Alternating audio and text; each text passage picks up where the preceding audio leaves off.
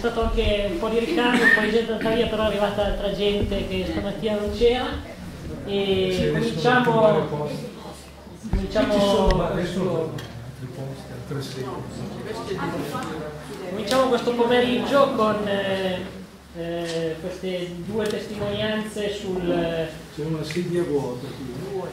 Due vuote. Bisogna avvertirla. due testimonianze sull'azione del diavolo e sull'esorcismo. Vedremo eh, Padre Aldo che eh, ci parlerà della, della lotta con il maligno di Santa Gemma Gargani, che come detto già stamattina è la, la fondatrice del ramo femminile del- della congregazione passionista.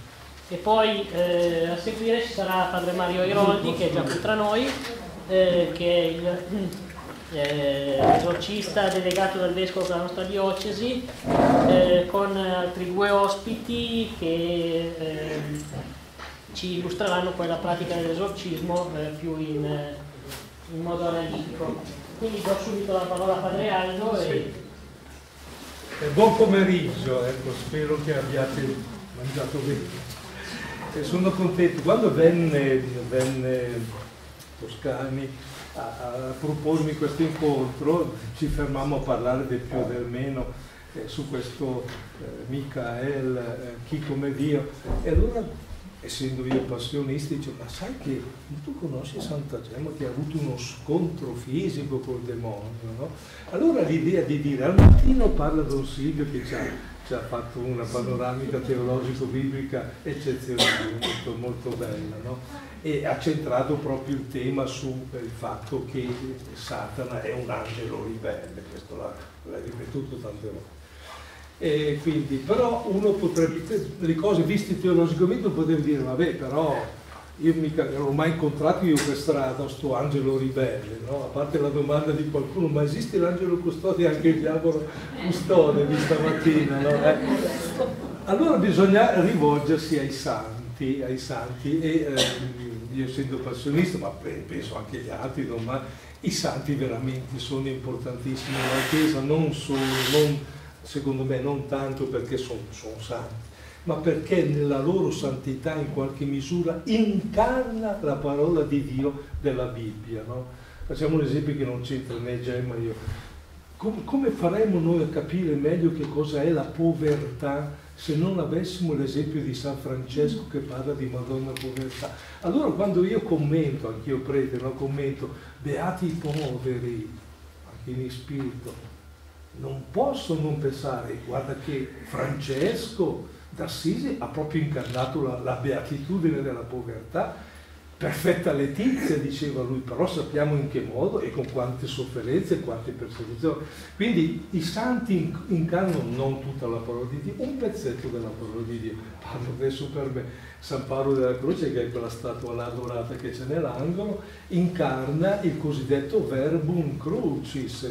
San Paolo Apostolo che dice, ah ma io sono venuto a parlarvi mica con discorsi troppo alti, ma di Cristo crocifisso, perché la parola della croce non è evacuetur cruz Christi, che non sia resa vana la croce di Cristo. Lui era diventato proprio una- un annunciatore, un predicatore, ma più predicatore, un evangelizzatore del suo tempo, proprio sulla passione. e Quindi abbiamo la parola incarnata nei santi. Ecco, allora farla io ho pensato a Santa Gemma Gargani perché eh, è, proprio una che con il demonio ha avuto uno scontro fisico proprio, fisico, da ricevere percosse, da ricevere insulti, da ricevere battute, da ricevere... E, chi- chi- e poi abbiamo i testimoni, perché voi sapete, la Chiesa è molto seria, prima di fare uno santo c'è, fior, fior di processi, sia quelli diocesani sia quelli apostolici, con tanto di, con tanto di testimoni possibilmente oculari o auricolari che hanno detto guardate che la cosa è andata così, così, così.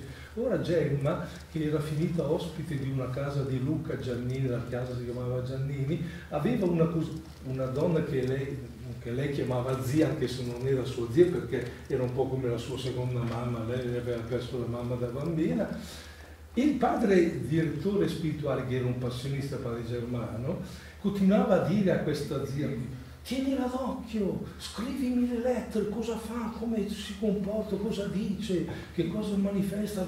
E quella, come un segugio, se la teneva sempre vicino per i lavori domestici, eccetera, e controllava continuamente cosa diceva, cosa faceva, cosa faceva, cosa. No? E, e, e, allora uno dice, o uno si è inventato tutto, oppure dice, ma qui c'è qualcosa. Poi racconta delle cose così straordinarie, così, che nemmeno una fantasia riuscirebbe a immaginarla così straordinarie, nello stesso tempo reali, concrete, reali. Per cui Gemma è una donna eccezionale, una santa mistica, ce n'è uno ogni, ogni cent'anni, insomma, per dire. Eh, lei ha avuto a che fare con questo mondo di cui ci parlava Don Silvio stamattina, il mondo angelico. Cioè, cos'è come, come, parliamo noi. Lei parlava con l'angelo custode e poi nella sua semplicità e limpidezza, perché era una donna semplice, limpida, qui c'è un ritratto ma esserpiato, però eh, sulla copertina di uno dei suoi ultimi libri, scritto, questo qui molto bello, da una pronipote di, di Casa Giannini, eh, il nonno era stato in braccio a Santa Gemma perché faceva la babysitter, la bambinaia. L'ultimo nato è nato tre anni prima che morisse lei e lei lo teneva in braccio. Era il nonno, bisnonno forse, se bisnonno di chi ha scritto questo libro che è tuttora vivente, questa eh, Gemma, si chiama anche lei Gemma Giannini ed è un insegnante di Gemma Giannini, lucchese, insegna lettere, presidente del Centro Cultura Università Cattolica della Società a Lucca, nato nella grande famiglia Giannini, è pronipote del Cavalier Matteo che aveva ospitato a suo tempo Gemma in casa sua. Quindi lei molte volte scrive dicendo a casa mia mio padre, mio nonno mi dicevano Gemma diceva questo e si comportava così, quindi c'è anche una tradizione oralis incredibile che risale a prendere. Però vediamo noi. Allora c'è questo scontro fisico, un testo che consiglio, vedo che c'è Guido Silvia, magari mi piacerebbe, questo è veramente uno studio stupendo, è di Cornelio Fabro. Cornelio Fabro è uno dei pensatori italiani cattolici, morto sarà dieci anni stanno facendo, pubblicando l'opera omnia. Lui era innamorato di Gemma, ha scritto questo libro che il titolo dice Testimone del soprannaturale, testimone fisica del soprannaturale. E, sentito, ha impiegato vent'anni a scrivere quel libro, vent'anni, perché ha fatto delle ricerche sui documenti, sulle testimonianze incredibili. E allora eh, volevo fare appunto vedere eh, un filmato che come vedete viene da YouTube, viene da Rete 4, è del 2009, quindi non è proprio a fuoco tutto, però insomma dura 7-8 minuti e dove si vede, si vede veramente una testimonianza che ci è rimasta della, del demoniaco nella vita di Santa Gemma. Prima vi descrivo il fatto così capite la faccenda. Il padre, eh, padre passionista eh, Stanis, eh, padre Germano che viveva quasi sempre a Roma, invece lei era a Lucca, si incontrati, si incontravano una volta ogni tanto, due o tre volte all'anno e usavano molto la corrispondenza. Fra l'altro, sapete, no, questo è, è carino la gente lo sa, e Santa Gemma usava l'angelo custode come postino. Sì eh, perché non aveva i soldi, era poverissima, per, per, affrancare la lettera. Allora scriveva la lettera, poi diceva la zia Giannini, eh, adesso come faccio? Eh, lei faceva qualcosa, dalla qui a me, dalla qui a me, eh, la prendeva, andava su nella sua camera, apriva il cassetto del comò, dentro la lettera, clac, clac, poi diceva già andiamo a mangiare, ora andiamo a mangiare, andiamo a mangiare. Mentre sono giù a mangiare, Gemma dice alla zia, è partita. Ma come è partita? la lettera non c'è qui. e quindi hanno detto a Padre Germano, ma da dove le riceveva le lettere? Qualche volta direttamente sulla scrivania me la trovavo lì, qualche volta sul davanzale alla finestra. ma insomma, io una volta ho detto a Gesù nella mia stupidità mentale, Signore, però un, un angelo postino mi farebbe buono. Risposta, c'hai già internet e usa la mail che va bene quella. che va bene quella. Quindi ecco per dire che, che confidenza aveva con l'angelo custode, però come ha detto bene Don Silvio, dall'altra parte c'era il demoniaco. L'angelo di qui custode e il diavolo custode ribelle di là. E questa era un'anima talmente bella, candida, gemma, una bella donna, è stata chiesta in sposa. Quando l'hanno chiesta in sposa si è arrabbiata, io sono di Gesù, io sono di Gesù. giustamente lo sapeva. È una bella linea, fine, fine, insomma, la dicono perché era una bella ragazza. È morta a 24 anni di tubercolosi, a Lucca, 3-4 date per inquadrarla nasce nel 1878 nei pressi di Lucca, il, il, papà è farmacista, apre la farmacia nella città di Lucca, vivono, la famiglia mette, mettono al mondo otto figli, sono morti tutti abbastanza in giovane età, non tutti, ma e la mamma la perde quando ha quattro anni, la cosa gli è, gli è costata molto perché poi lo dirà, ho perso, ho perso la mamma, eccetera il papà va avanti, però bravo farmacista, ma non esperto in affari, eh, cade in, cade in disgra disgrazia, in fallimento economico. Deve vendere tutto, eccetera, e la famiglia che era di un ceto medio borghese buono, no? va proprio in miseria, una miseria a tal punto che eh, in casa Galgani non c'è più nemmeno la minestra la sera da mangiare. Quindi, sta ragazza nello sviluppo, aveva 18-19 anni, ha frequentato le scuole della città, in particolare le suore zitine, che sono le oblate dello Spirito Santo fondate dalla beata Elena Guerra, che è proprio una che voleva che Leone XIII facesse un'enciclica sullo Spirito Santo, dove stamattina accennava lo Spirito Santo, eccetera. No? e quindi lei è cresciuta di lì, intelligente, seria, giudicata un po' anche altezzosa, quasi un po' scontrosetta. lo dice lei, io sono superbo, lo dice perché... Allora il padre Germano gli dice quando la incontra, eh, fra l'altro, in particolare, eh, lei aveva delle estasi e quando andava in estasi, lei diceva mai estasi, diceva, vado fuori di testa, diceva così eh, lei perdeva contatto con l'esterno, no? però lei che parlava con Gesù come parliamo tra due persone, lei le diceva ad alta, ad alta voce, le diceva le parole, le diceva. Allora quelli che erano vicini, che erano seduti lì, trascrivevano le parole che lei diceva. No, loro non sentivano cosa diceva Gesù, ma sentivano cosa diceva Gemma. Allora pare che una delle prime volte che padre Germano lo incontra, naturalmente un vero padre di diritto spirituale dice, beh, qui moment, moment, qui può essere tutta suggestione, ma vieni, vieni, vieni che c'è Gemma che è in estasi. E, e, sentono che Gemma discute con Gesù dicendo, adesso sintetizza, lo devi salvare Signore, è frutto del tuo sangue, quel peccatore, no, lo devi salvare Gesù, perché è frutto del tuo sangue, eh, tu sei morto, e dicono che ha fatto anche il nome il tal dei tali. Finisce l'estasi, loro scappano via prima, dopo un quarto d'ora suona alla porta. Ah, fra l'altro, lei raccontava i peccati, anche alcuni peccati che quello lì aveva fatto, lo diceva Gemma. I testi non lo dicono perché erano peccati. Sono alla porta e padre Germano c'è un tale piccolo centro alla porta, arrivano lei padre Germano, sì, mi voglio confessare. Oh, si confessa, è esattamente l'uomo di cui parlava Gemma. A tal punto che Germano lo racconta lui, eh, quando ha finito la confessione, Germano gli ha ricordato alcuni peccati che lui non si ricordava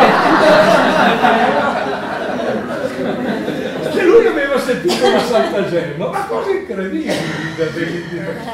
Allora Germano ha detto no, no, qui c'è ic, ic digitus dei est, qui c'è un è impossibile che sia tutto a caso, qualcosa del genere, qualcosa del Ecco, vedi, allora Germano dice, Gemma, fatelo sintetizzo, devi scrivere la tua autobiografia.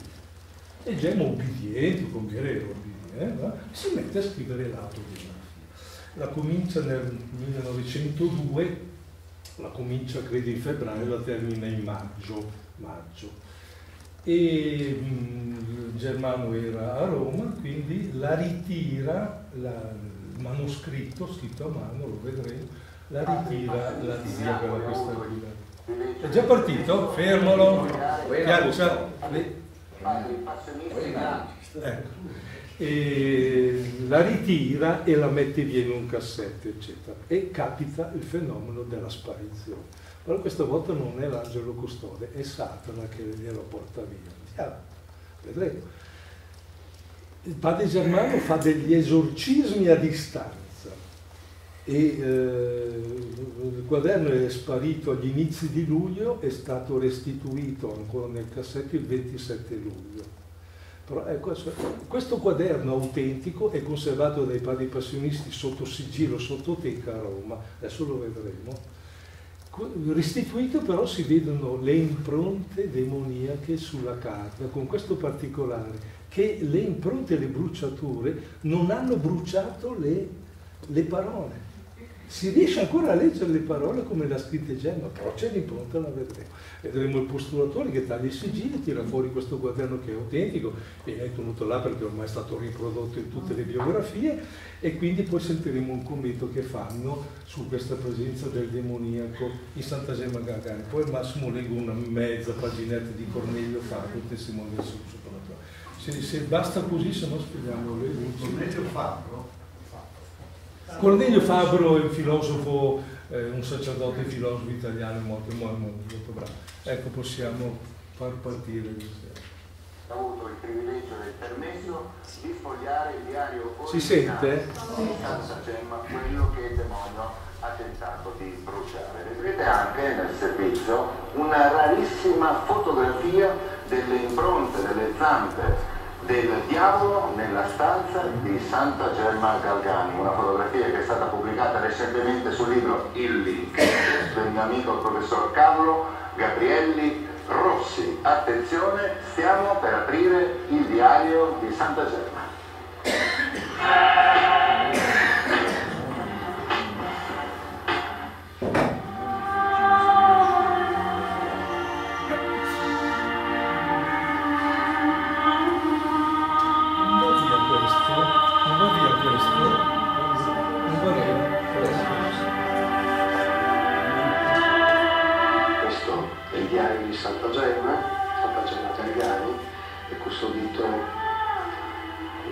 contenitore in metallo retro dell'originale. Ora rimuoviamo i sigilli.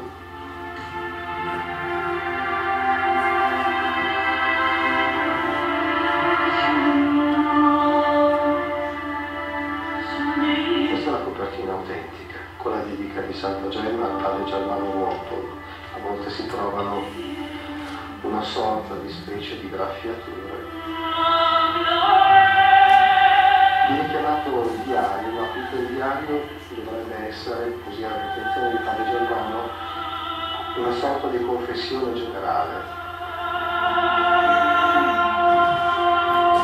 Assalita e tentata dal demonio, Gemma si rivolge alla misericordia divina, ma il diavolo ritorna più volte, le appare sempre più di frequente.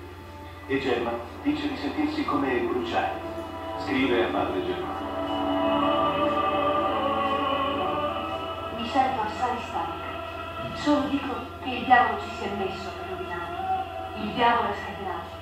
Babbo Dio ci si è messo con tutta la forza. Gemma lotta con il demonio. Resiste. Lo respinge. Prega con grande devozione. Quasi rapita. Gesù le appare e la commuove. Scrive ancora Gemma nel suo diario. Una notte dormivo tranquillamente e venne il demonio con una tentazione un po' sudicia.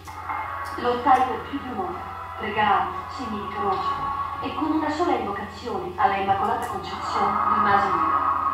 Ed esso, arrabbiato, voleva vendicarsi. Avrebbe voluto dargli un colpo addosso, ma siccome gli fu proibito, non poté farlo. Che gli rimaneva da fare? Un dispetto voleva fare. Gridò, guerra al babbo tuo, il tuo scritto è nelle mie mani.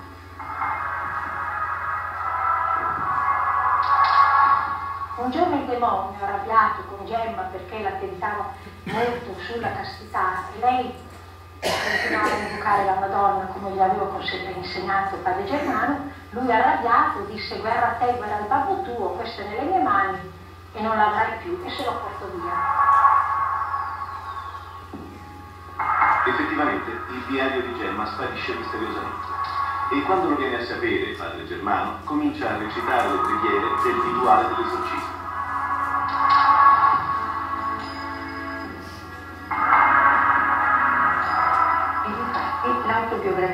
Era stata riportata nel cassetto e nonostante tutti Un monte di clausura. fronte, il Signore non permise che alcuna delle parole di Gemma fosse cancellata e non si potesse leggere.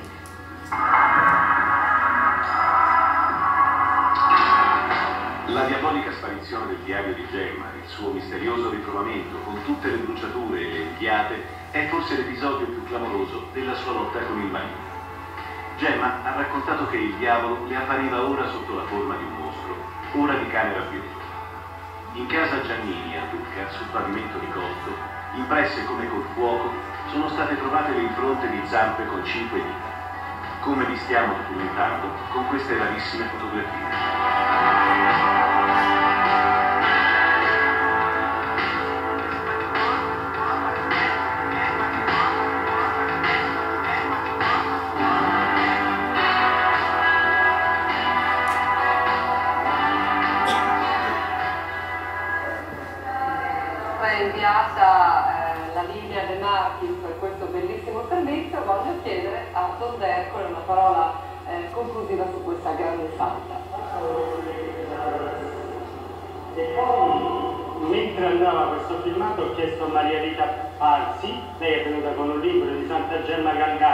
E rapidamente guardò uno sguardo, ho dato uno sguardo. A me sembra che questa ragazza abbia un messaggio straordinario, dico Santa Gemma Galgani, una vita fa, abbia un messaggio straordinario per, per la gente del nostro tempo, per, per insomma, questo sangue. Oggi c'è tanto sangue che, sparse, che, che viene sparso inutilmente, violentemente, qui si parla di un sangue che redime, che dà, che dà gioia, che dà pace, si parla di una lotta contro il demonio che non dà tregua ma alla fine c'è tanta pace perché Dio li avvicina. Le ultime parole di questo libro sono queste, uomini moderni, miserie moderne, ritornate alla devozione, alla passione di Cristo, rifugiatevi nelle sue piaghe. Chissà che non sia un messaggio da accogliere per ritrovare la pace. Grazie. Grazie Don Giovanni. Ecco, è finito. Ecco, era solo un pezzo, come vedete, di Rete 4 del 2009, quando c'era questo programma, si chiamava Miracoli, condotto a... L'ho trovato su YouTube, ho detto io lo faccio vedere e così c'è proprio una presenza del, del demoniaco. È semplicemente due o tre righe ancora per spiegare bene, poi dopo la mia parte è finita perché introdurre Padre Mario che ha lottato anche lui col diavolo, chissà cosa ci racconta. Eh? ed è, padre, è Don Silvio che è teologo. Eh, Cornelio Fabro, testimone del soprannaturale, in, in, una paginetta dice sembra che anche a Gemma, anche Gemma alcune volte, come accade ad altri servi di Dio, abbia per divina permissione dovuto subire proprio ossessioni o possessioni diaboliche, le quali però mai intaccarono il fondo della sua anima e l'esercizio della sua libertà che rimase sempre uniti a Dio, questo è importantissimo, guai. Satana può toccarci un po' psicologicamente, psichicamente, ma la nostra libertà, se no guai, non, non, non ce ne liberiamo più. E lui lo dice, dice no, Gemma eh, ha lottato, ma ha sempre conservato le sue facoltà di discernimento e di lotta, eccetera.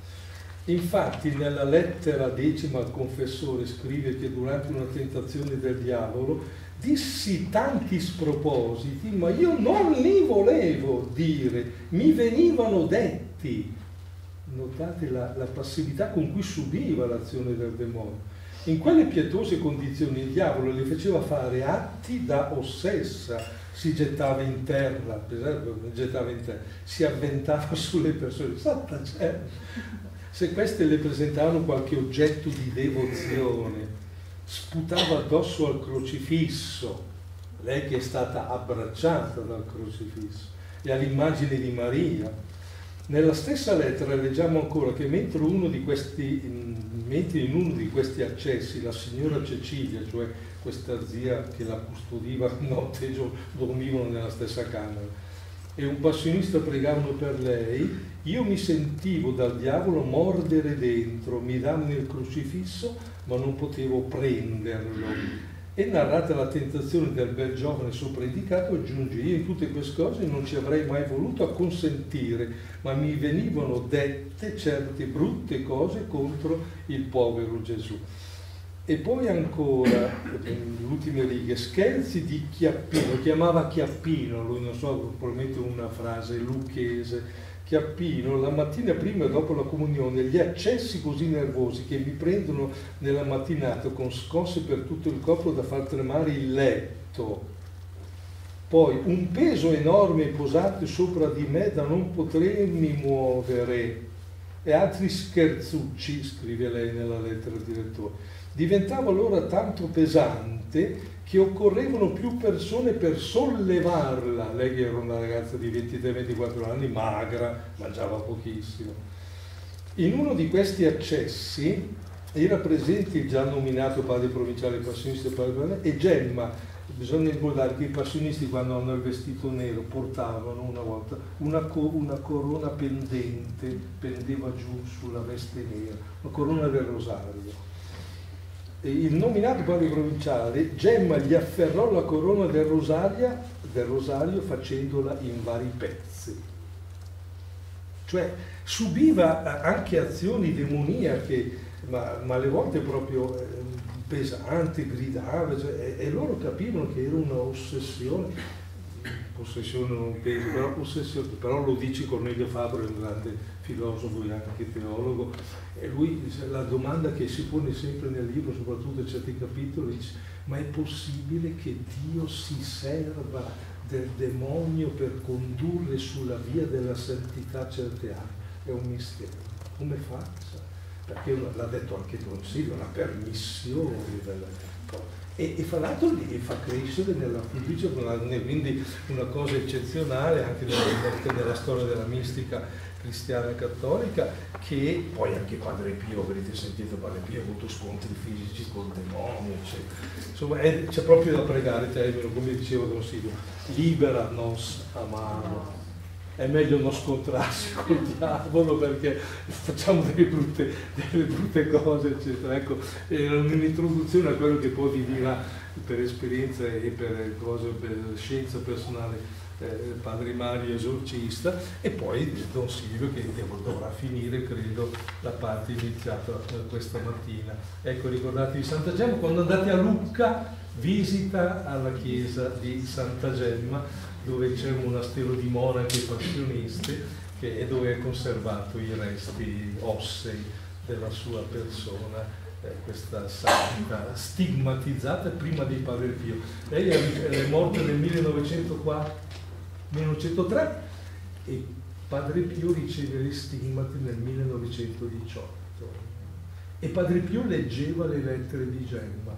E poi quando andavano quelli di Lucca a trovarlo Padre Pio diceva ma cosa venite da me? ma avete là, avete già là la santa là? E li mandava indietro e diceva avete già Lucca e chiusura è stata beatificata nel 1933 e canonizzata nel 1940 da Pio XII. Don Silvio, permettimi soltanto una domanda perché molti se la pongono, ma non è che fosse un po' isterica Gemma? Eh, è facile questa accusa, anche Padre Pio allora io ho riportato poche righe, poche righe della risposta che ha dato il cardinale il Beato Schuster. Quando Beato Schuster era abate giù a San Paolo fuori le mura, il Papa, prima della beatificazione Pio XI, chiese il parere di Schuster su vari quesiti, c'è la question, e tra le varie question su, per vedere se si poteva eh, dichiarare Beata Gemma, a un dato momento c'è questo quesito, la serva di Dio non fu ella isterica? Risposta del cardinale Schuster. Conosciamo bene i segni diagnostici di temperamenti isterici.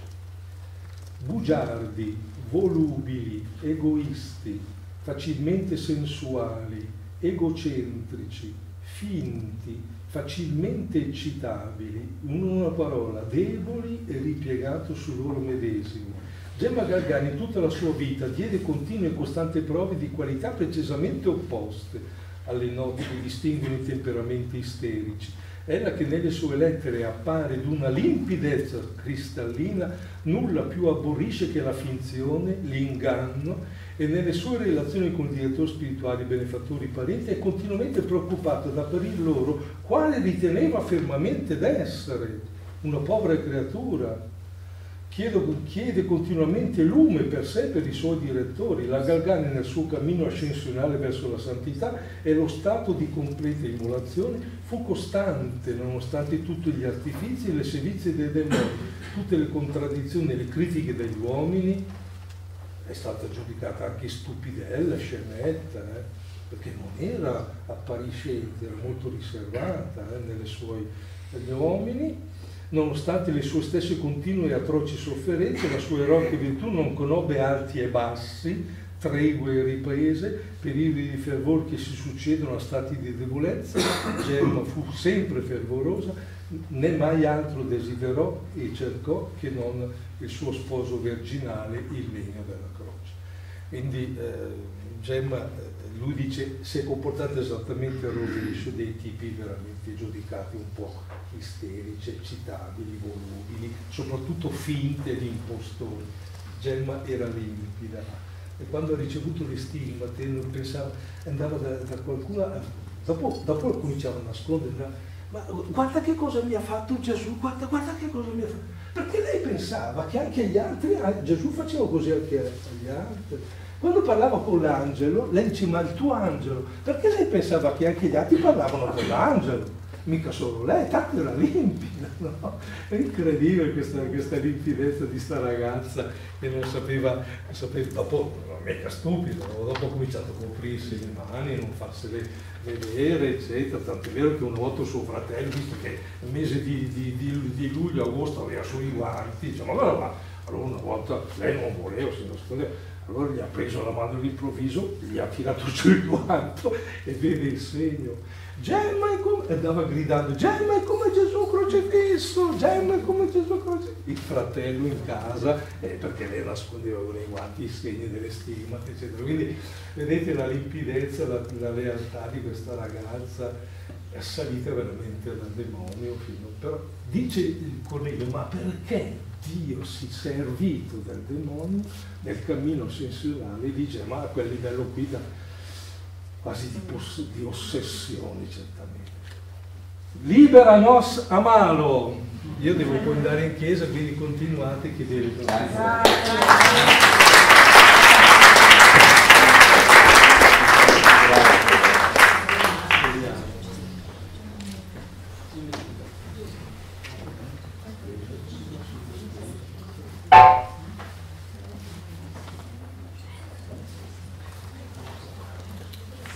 Spegniamo, spegniamo.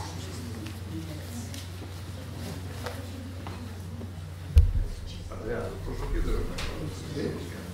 Scusi, eh? ma io un, non riesco a capire il tema della, lo accennavo anche con Don Silvio, il tema della eh, fisicità eh, fatta da una creatura che è spirituale. Eh, ma adesso poi dopo quello che ha detto il padre Aldo, il tema fisicità, il, la lettera, come faceva a uscire dal cassetto? Il, il quaderno dove sta? Non lo so, non, non, è una domanda difficile anche per me. Primo, facciamo un altro esempio che potrei condividere e è accettato sicuramente, penso che siate d'accordo. La bilocazione di Padre Pio, com'è possibile? Boh ci sono delle realtà preternaturali. Don Silvio stamattina ha fatto solo un accenno di tipo però chiaramente fisico, le onde radio, no? che uh, ci sono e nessuno se ne accorge. Che ci siano in noi dei, dei poteri preternaturali, non dico soprannaturali, uso anche preternaturali, che noi non conosciamo, però ci sono dei medium che riescono a farli, ci sono dei sensitivi delle cose, ecco per dire no, come il mondo... Sì, però il, mondo... è una cosa fisica, eh? la lettera è una cosa fisica. Eh, cioè, io, io, capisco come dici delle, delle onde arti diciamo, fatto forse la, esempio perché la l'avevo sentito stamattina. Ma, il quaderno è una cosa Dove sarà andato dove a finire? Nel frattempo, Esce- dove è sparito? eh, la lo so. lettera che esce A casa del diavolo, e va a finire sulla scrivania. C'è un problema di, di forze contundenti fisiche, cioè la- de- de- ho capito, dice due realtà fisiche non possono compenetrarsi, no? Pare che sia così, no? Non- non- ti confesso, a questo punto non so rispondere, se c'è qualcuno, padre Mario che riesce a rispondere, io dico forze preternaturali o forze incredibili, però noi constatiamo che è avvenuto, crediamo a coloro Sì, sì, che ci crediamo, quello che l'hanno fatto, come avvenga è veramente difficile. Ma leggevo ancora su altri testi che un certo potere concesso da Dio sulla- sulle forze della natura, Satana ce l'avrebbe. Concesso da Dio, però non so fino a che punto Cornelio Fabio dice, ma è possibile che, perché poi lui ha citato San Paolo, tutto concorre al bene di coloro che amano Dio, però aspita, liberano San Paolo, perché se dobbiamo passare per quelle trafile lì, eh, però questa risposta, come facesse la lettera passare attraverso il legno del cassetto, non ti so rispondere. Del resto penso che quando nel credo diciamo visibile, mobile, invisibile, crediamo in tutta un'altra dimensione. Eh, citate Fa parte mattina, schiere angeliche e maligno. E allora la transustanziazione dell'Eucaristia è un, fatto che umanamente, umanamente eh, dal punto di vista naturale è pane e resta quello che era prima. Noi osiamo credere che per un intervento soprannaturale è diventato il corpo di Cristo. Ed è un fatto che implica la natura, no? Possiamo spegnere, allora se spegne. No, qui, qui, qui, il proiettore. Sì. Sì, sì. Dove è l'interruttore? Sotto qui. Sotto. Ecco il punto. Qui c'è se... È quello. dopo tutto quello che avete ascoltato, soprattutto stamattina, ormai ne sapete una più del diavolo. e quindi aggiungerò solo qualcosa. E partirò dalle riflessioni che ho, ho fatto, i criteri di discernimento che ho cercato di elaborare attraverso l'esperienza. Devo dire che quanto- per quanto riguarda questo ministero, già prima di ricevere questo incarico, sia il vescovo Renato, Aldo che il vescovo Renato mi mandavano persone con cui fare discernimento sull'opportunità o meno di mandare da qualche esorcista. E quanto all'incarico invece dal 27 agosto del 2009 che ho ricevuto questo incarico. E voglio dire subito e con gratitudine che mi è, sta- mi è dato di, di avvalorarmi di una collaborazione preziosa dal punto di vista scientifico che è data dal dottor Gagliardi che è qui presente. Semmai poi credo che possa essere utile e interessante sentire anche da lui qualche eh, approfondimento. E vedo che c'è anche Giovanni Restuccia e sapete che è il direttore del centro antiplagio e con una, eh, come dire, una consapevolezza della realtà dei problemi che poi vorrei dire eh, in- al di là di quello che un po' di spettacolare viene fatto sul demoniaco. no? E, ecco, e quindi parto proprio da questo. E io credo che forse più ancora che l'aspetto un po' curioso, un po' spettacolare, che viene anche sottolineato fin troppo, creando anche delle psicosi, sia da spettacoli televisivi, ma anche insomma da Padre Livio Radio Maria e altri interventi. Io credo che c'è un primo dato su cui dobbiamo essere molto consapevoli e non credo che ne siamo a sufficienza. E qui il dottor Gagliardi avrebbe cose da dire con- in modo documentato, e cioè tutta quella galassia di pseudo spiritualità dell'area New Age che sta attingendo un sacco di gente, anche intellettualmente preparata, e anche i nostri giovani. e mi sembra di avvertire, dico bene di Giorgio, che sia un po' simile al mondo della droga, perché in essa si entra per qualche esperienza un po' limite e poi un po' alla volta, un po' alla volta ci si può trovare coinvolti in esperienze anche molto più devastanti.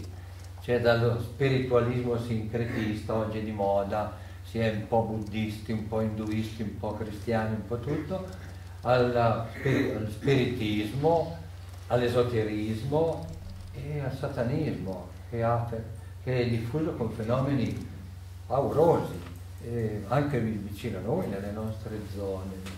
E a questo riguardo, proprio qualche, non ricordo più che anno era, eh, quando mi ha fatto il convegno di cioè, proposta alla diocesi su queste problematiche ad Armeno, così nel 2008 mi pare.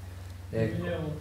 E io vi dirò solo questo, ecco, che personalmente ho avuto l'approccio che mi ha lasciato un segno quando per caso, fortuito, ho avuto l'opportunità di entrare nella sede di Damanur uh, in Valchiusella e beh, io dirò che sono uscito con un senso di angoscia e non mi meraviglierei se in posti come quelli po- possa avvenire quello che è avvenuto in certe sette in cui qui vi sono stati degli esiti tragici. Ecco, e quello che mi preoccupa è in tutto questo mondo il fatto che il riferimento è a dei guru che in fondo hanno una, un potere totale sulla psiche e sullo spirito degli adepti. E, e vi dico che vi è gente anche intellettualmente preparata, ad esempio da Damanur, da Damanur sono usciti diversi sindaci delle zone del Canavese, non mi dilungo sulle, sulle impressioni personali, semmai dopo. Ecco, un altro aspetto preoccupante, molto diffuso, è quello del ricorso a maghi, fattucchiere con notevole dispendio finanziario o a sortilegi, lo stesso fenomeno diffuso del tatuaggio, eh, sconfina con questi, in, in questo come dire, mondo non, non, precisato. Il ricorso agli amuleti, oggi sono commercializzati no? gli, amuleti.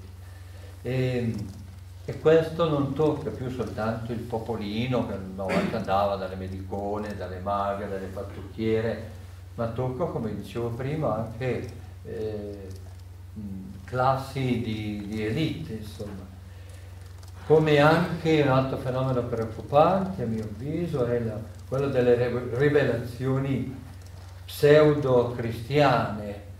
Eh, con Gagliardi siamo andati una volta a Rò ad assistere ad un'assemblea piena di gente così, con il solito veggente, il prete che è compiacente, e dove si avverte eh, una distorsione spirituale. Ma oggi c'è il rischio proprio che si vada più a cercare quello che non ciò che fonda la fede eh, ro, robusta. Viene in mente spesso quello che dice, eh, a questo riguardo, quello che dice la seconda lettera a Corinti, capitolo 11, versetto 14. No? Santana si riveste talora da angelo di luce, si nasconde sotto, sotto uh, false specie di pietà e di devozione. Un altro aspetto, questo l'ho avvertito dagli incontri personali, e anche delle relazioni spirituali in certe situazioni estreme, il degrado orribile che avviene nel mondo delle comunicazioni sociali oggi trasmessa dai moderni mezzi tecnologici, in internet. Io ho incontrato alcune persone che hanno intrapreso un rapporto affettivo con un partner che poco alla volta, poco alla volta si è rivelato coinvolto in, in giri spaventosi, Ecco, credo che anche qui ci sia un forte tratto del demoniaco, anche se non sembra che eh, dia segni esterni, no? eh, eh, dia, faccia segni portentosi. Potremmo aggiungere la presenza di, di logge massoniche anche nella nostra zona, ma su questo punto Gagliardi è molto documentato e potrebbe poi dirci qualcosa di più preciso.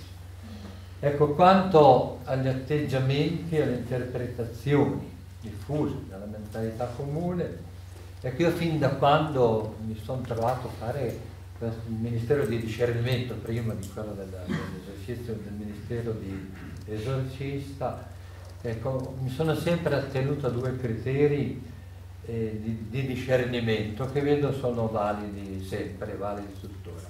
E direi la, mh, confrontarsi con quello che chiamerei il negazionismo o il presenzialismo. Il negazionismo è quello che dice che il maligno non esiste, che è un termine mitologico eh, per eh, indicare il problema del male, anche nella teologia cattolica ci sono state delle correnti della demitizzazione anche della, del, del, maligno.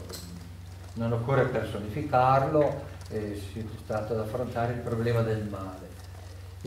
L'altra del presenzialismo, insomma in altre parole quello di vedere il diavolo dappertutto, creando anche delle psicosi o delle inquietudini spirituali. E,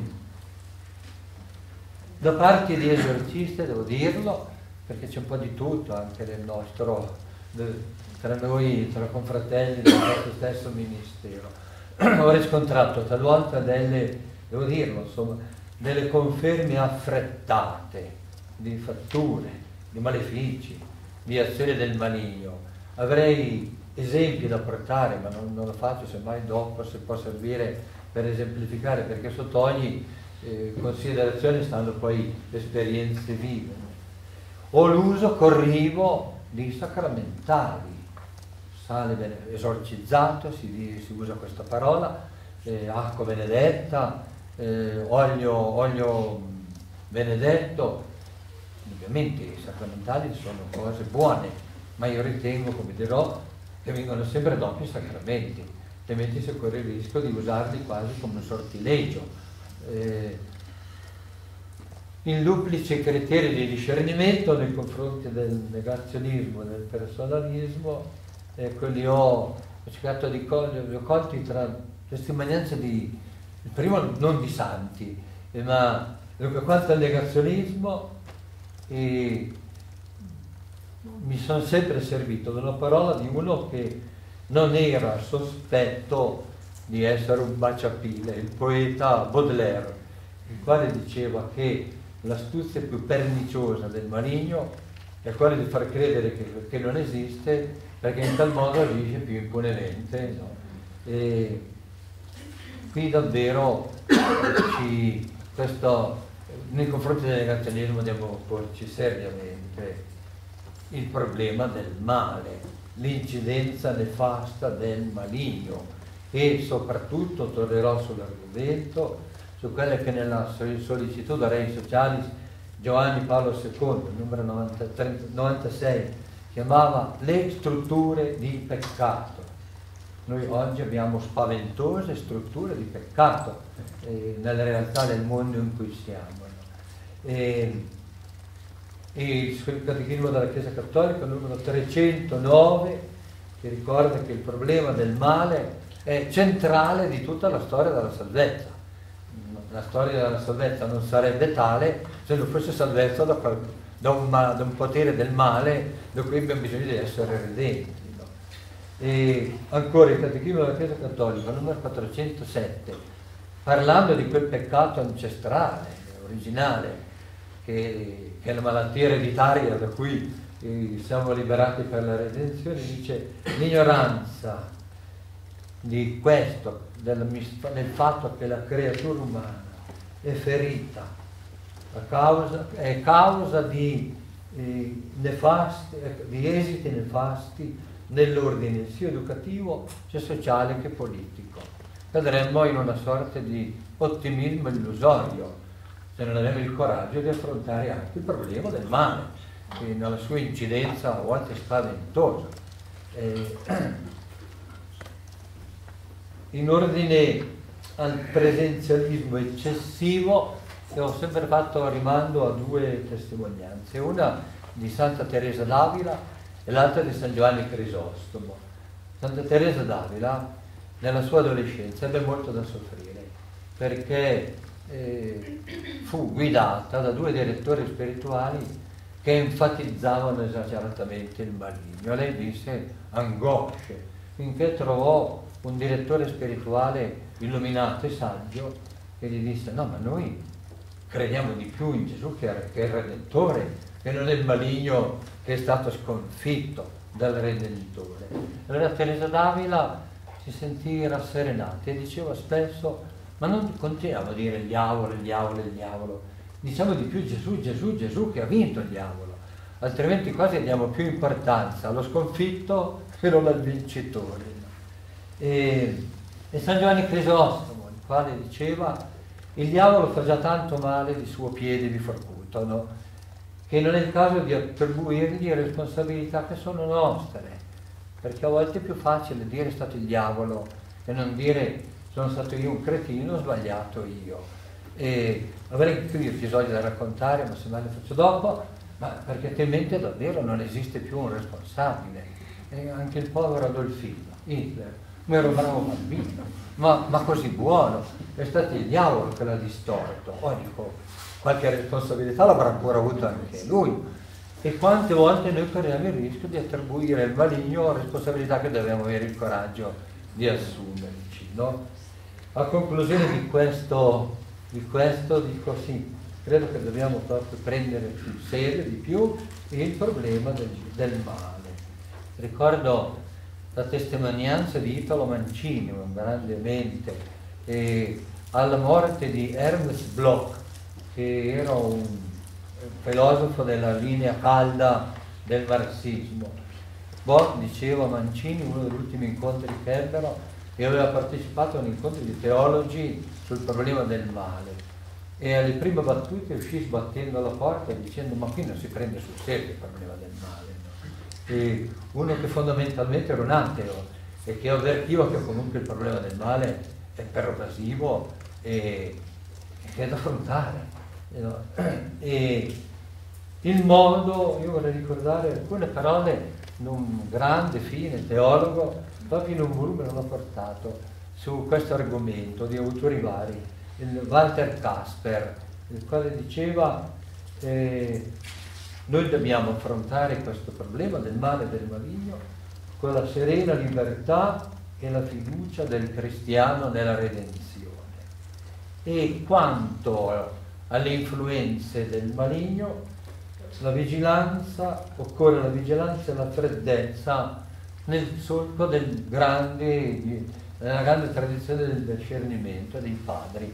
Pensiamo alle pagine di Ignazio di Loyola sul discernimento. Ecco quanto a me, a partire da queste, da queste premesse, quanto criteri di discernimento che, in cui mi sento sempre più confermato è questo. E, anzitutto l'azione del maligno è unicamente azione di disturbo esterno che ha importunato anche Santi, l'avevo scritto prima di sentire da Padre Aldo le parole che ho sentito un momento fa, e citavo proprio il curato d'Ars, quel grappino, lui lo chiamavano, volte mi facevo passare delle notti eh, costrattonato nel letto, no? eppure beh, il mattino dopo mi andavo a confessare integro e sereno perché ringrazio di Dio. Santa Gemma aveva segnato e, e Padre Pio. Allora qualunque azione il marino faccia dall'esterno non può intaccare il nostro organismo spirituale, personale o comunitario se siamo in grazia di Dio.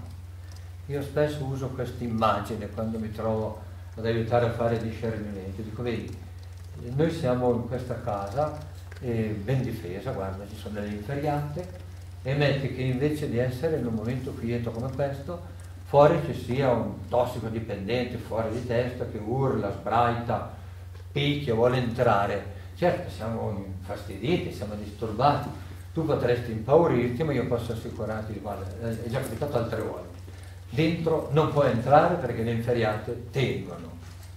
E questo è un criterio fondamentale proprio per evitare psicosi e paure indebite che fanno il gioco poi del maligno, perché inoculano l'accidia, cioè la paura, la tristezza spiritualis, la paura della, di non, eh, non, raggiungere la salvezza.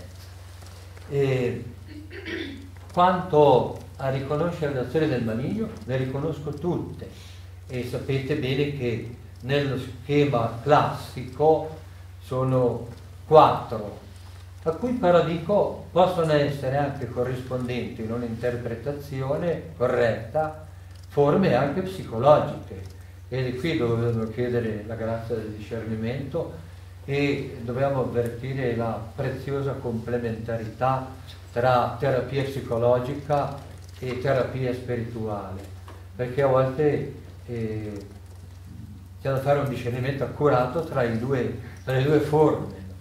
Allora sapete che nello schema classico la possessione, che è la più spettacolare e anche la più sfruttata a livello sensazionale.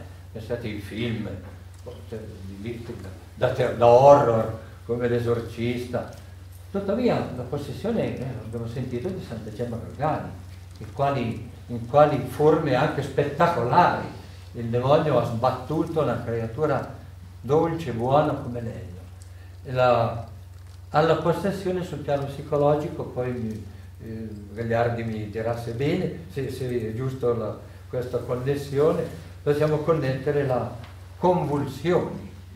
Seconda forma è l'ossessione, che per certi versi è meno spettacolare, meno esteriore, ma più pervasiva e più interiore. Potremmo, eh, il corrispettivo potremmo trovarlo nella fissazione. La vessazione, che è più interna ma che spinge all'azione. Potrebbe essere la compulsione sul piano psicologico. E poi viene anche l'infestazione, personale o locale. E questo soprattutto può essere indotta anche da tramiti negativi, le cosiddette fatture. Quanto all'infestazione con Gagliardi abbiamo vissuto un'esperienza, vero? E non molto tempo fa, l'anno scorso. E Spesso questo può essere indotto da fatture sortilegi. E parlavo un momento fa del dell'aspetto spirituale e del sustrato psichico. Indubbiamente noi dobbiamo riconoscere che gran parte di noi non, è, eh, non è illuminato dalla nostra consapevolezza, è l'inconscio. E noi non siamo tuttavia eh, soggetto al pessimismo freudiano. Ricordate quella parola inquietante quando Freud diceva l'io non è padrone in casa sua. E, è la parte alta, consapevole di un ventre di vulcano nel cui profondo possono scatenarsi dinamiche eh, in, non, non, non dominabili di cui neanche riusciamo ad avere consapevolezza. E i grandi, grandi psicoterapeuti di grande afflatto spirituale come Victor Frank parlavano invece di una interpretazione positiva eh, eh, dell'io, l'io superiore di Dio che illumina l'io nostro e che può venirne a capo anche delle dinamiche interiori che possono portare anche a peccare e a, e fare il male. La, seconda, la grande tradizione dei padri che in fondo precede la psicanalisi, segnala un bel volume tra l'altro di Jean-Claude Larcher, l'inconscio spirituale, che ricorda che nei padri si parlava di inconscio deifugo e inconscio teofilo. E, quanto più la, la luce dello Spirito in noi eh, penetra e ci trasfigura un po' alla volta anche quello che in noi sembrava non dominabile, non, non ancora, ancora dire, ribelle a un'azione della grazia, può tra, trasformarsi. Certo, qui dobbiamo tenere presenti le interconnessioni tra soma, tra la parte corporea, la parte psichica e la parte spirituale. Ma non dimentichiamo che noi crediamo, le parole di Paolo, che noi siamo comporti sì di soma, corpo, psiche, ma di, pne, di pneuma, ma siamo abitati dallo Spirito Santo. E allora noi osiamo credere che nel profondo, più profondo di noi vi è una dynamis divina che cade in alto, dicono i padri, una forza d'amore che ci fa eh, elevare sempre più fino all'incontro con il tu dell'amore trinitario. Noi osiamo credere che la sublimazione non è un'illusione, ma una divinizzazione, una trasfigurazione. Questo riguardo concludo perché non vorrei sperdermi con una frase che riassume un po' tutta la sapienza dei padri San ben, San, nella regola di San Benedetto, capitolo secondo. Lo dico per in latino. Cogitationes pravas e cordi suo erumpentes statimat Christum al lidere e patri suo spirituali patefacere. Il santo dottore nel duplice senso di grande sapienza divina, ma anche di grande guarigione delle malattie spirituali, tradotto, vi cito queste parole che tradotte in un linguaggio un po' più di ordine psicologico può essere questo. Le dinamiche negative che rompono dal profondo, subito spaccarle su Cristo e manifestarle al direttore spirituale. Cristo avere il grande transfer che prende su di sé tutte le nostre tensioni, ce le fa scaricare da dentro e siccome egli opera attraverso la comunicazione fraterna, comprendete perché nella tradizione della, eh, dei padri il pater pneumaticos, il direttore spirituale, la direzione spirituale era fondamentale, proprio perché è lo strumento terapeutico, è il metodo terapeutico per guarire le malattie spirituali. E le infiltrazioni, del, certamente il maligno può infiltrarsi soprattutto nelle crepe del nostro equilibrio fisico e psichico. Allora ricordiamoci che il pericolo maggiore del, del maligno non sono le azioni esterne, sono le tentazioni con cui può penetrarci e fuorviarci. Entra nelle nostre crepe, faccio un esempio, se non è significativo anche sul piano psicologico. La prima tentazione di Gesù. È, è pensabile che un uomo dall'organismo ancora vigoroso, dopo 40 giorni di stretto digiuno, nel momento del relax, senta il bisogno biologico urlare dentro, nello stomaco che urla dalla fame. Ed è pensabile che abbia sentito la tentazione di usare del potere dei miracoli per trasformare i ciottoli in pagnotte. Sì, è in questa infiltrazione si entra il maligno, ma se tu sei il figlio di Dio, usa il potere dei miracoli per il tuo tornaconto. E questo ci consola molto questa considerazione. Gesù è stato tentato, come siamo tentati noi, specialmente nei momenti di debolezza psicofisica possiamo anche reagire come ha fatto lui, allora la tentazione risulta non solo una, non una sconfitta, ma un'ulteriore temperatura, come le malattie. Se il nostro organismo, se il nostro sistema immunitario reagisce bene, eh, la reazione alla malattia attraverso gli anticorpi rende il nostro organismo interiore più robusto. Allora ecco come importante, ma prioritario, ve lo dico, insomma, per così perché mi sembra questa l'esperienza che vivo, poi ditemi poi, chiedetemi, intervenite poi voi, eh, come dobbiamo discernere anzitutto tra tentazione e peccato, tra sentire e acconsentire. Noi potremmo sentire anche le tentazioni più brutali, tante gemma, no? E anche con queste ripercussioni dall'esterno. Ma se il, il discepolo di Cristo non acconsente, non solo non pecca, ma ne esce spiritualmente robustito.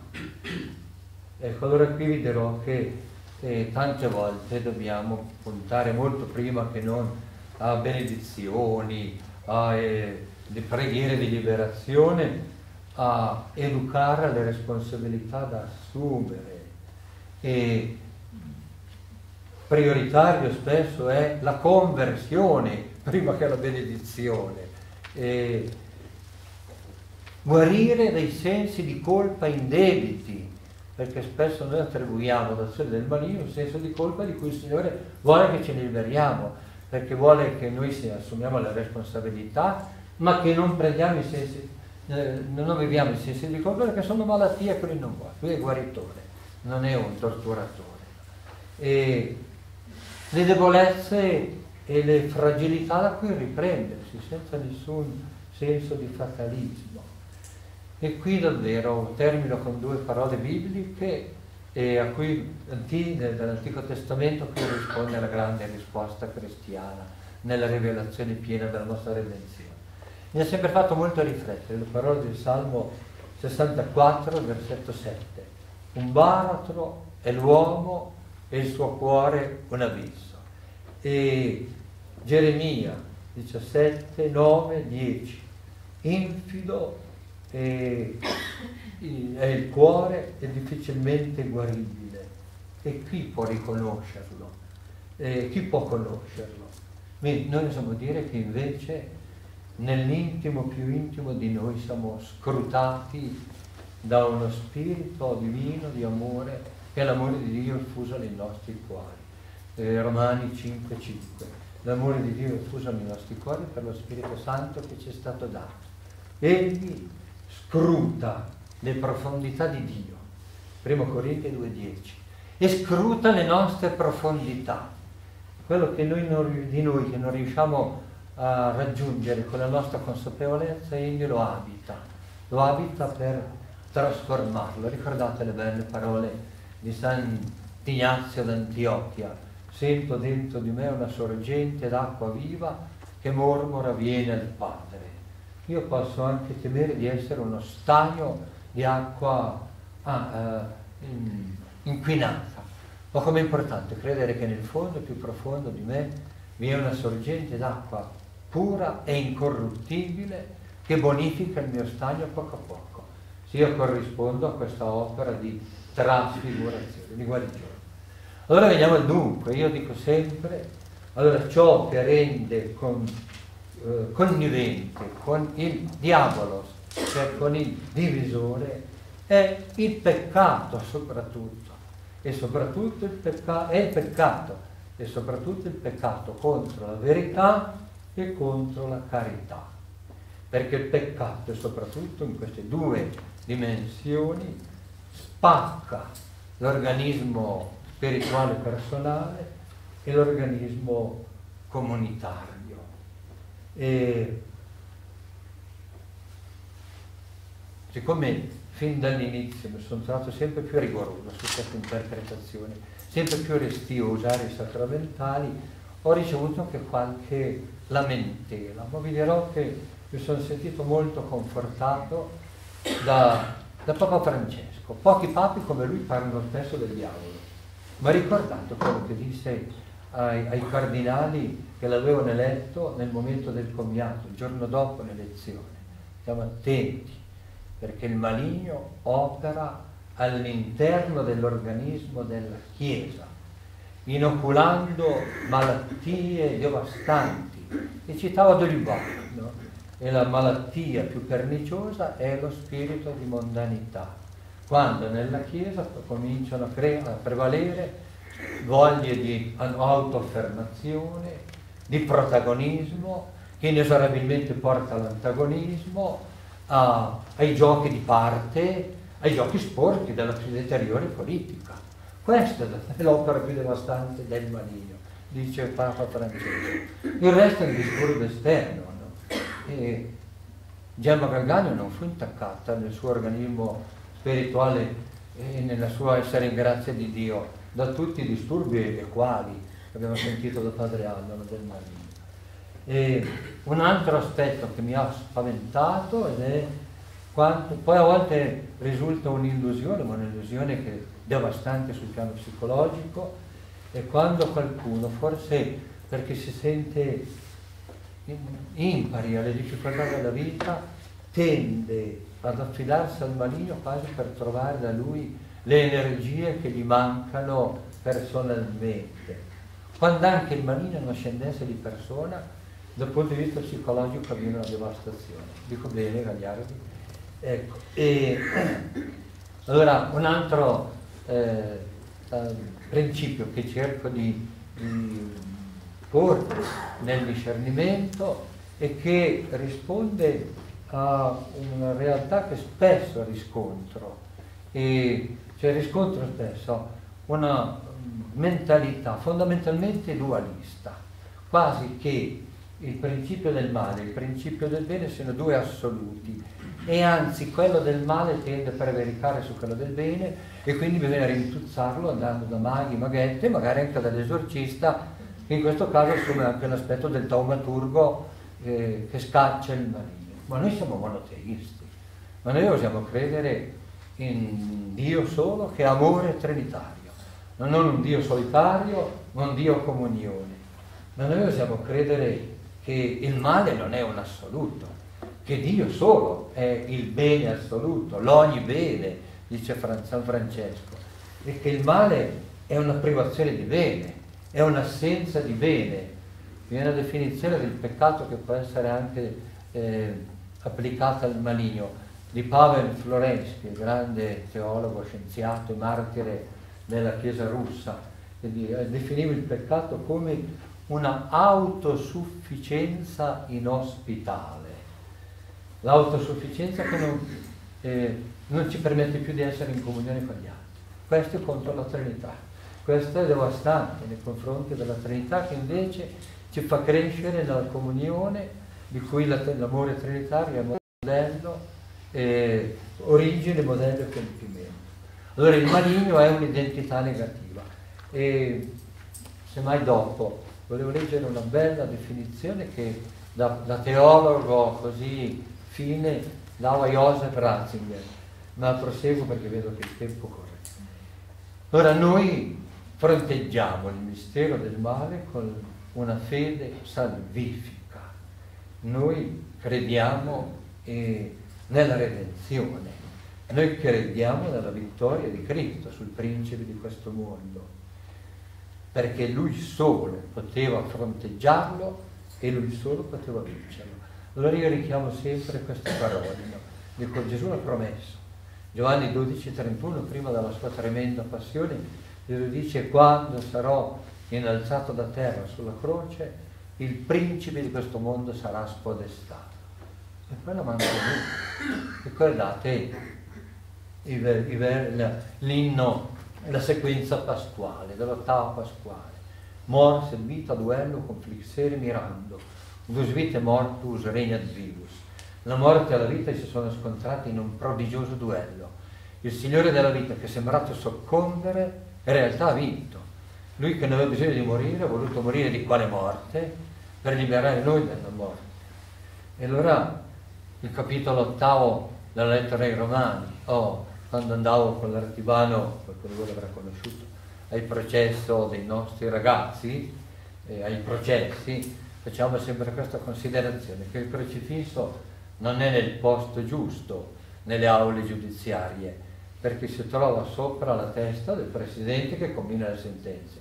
Ma l'unica volta in cui Gesù è entrato in un tribunale, ci è entrato da imputato ed è uscito da condannato il supplizio più atroce, più infamante e più crudele. No?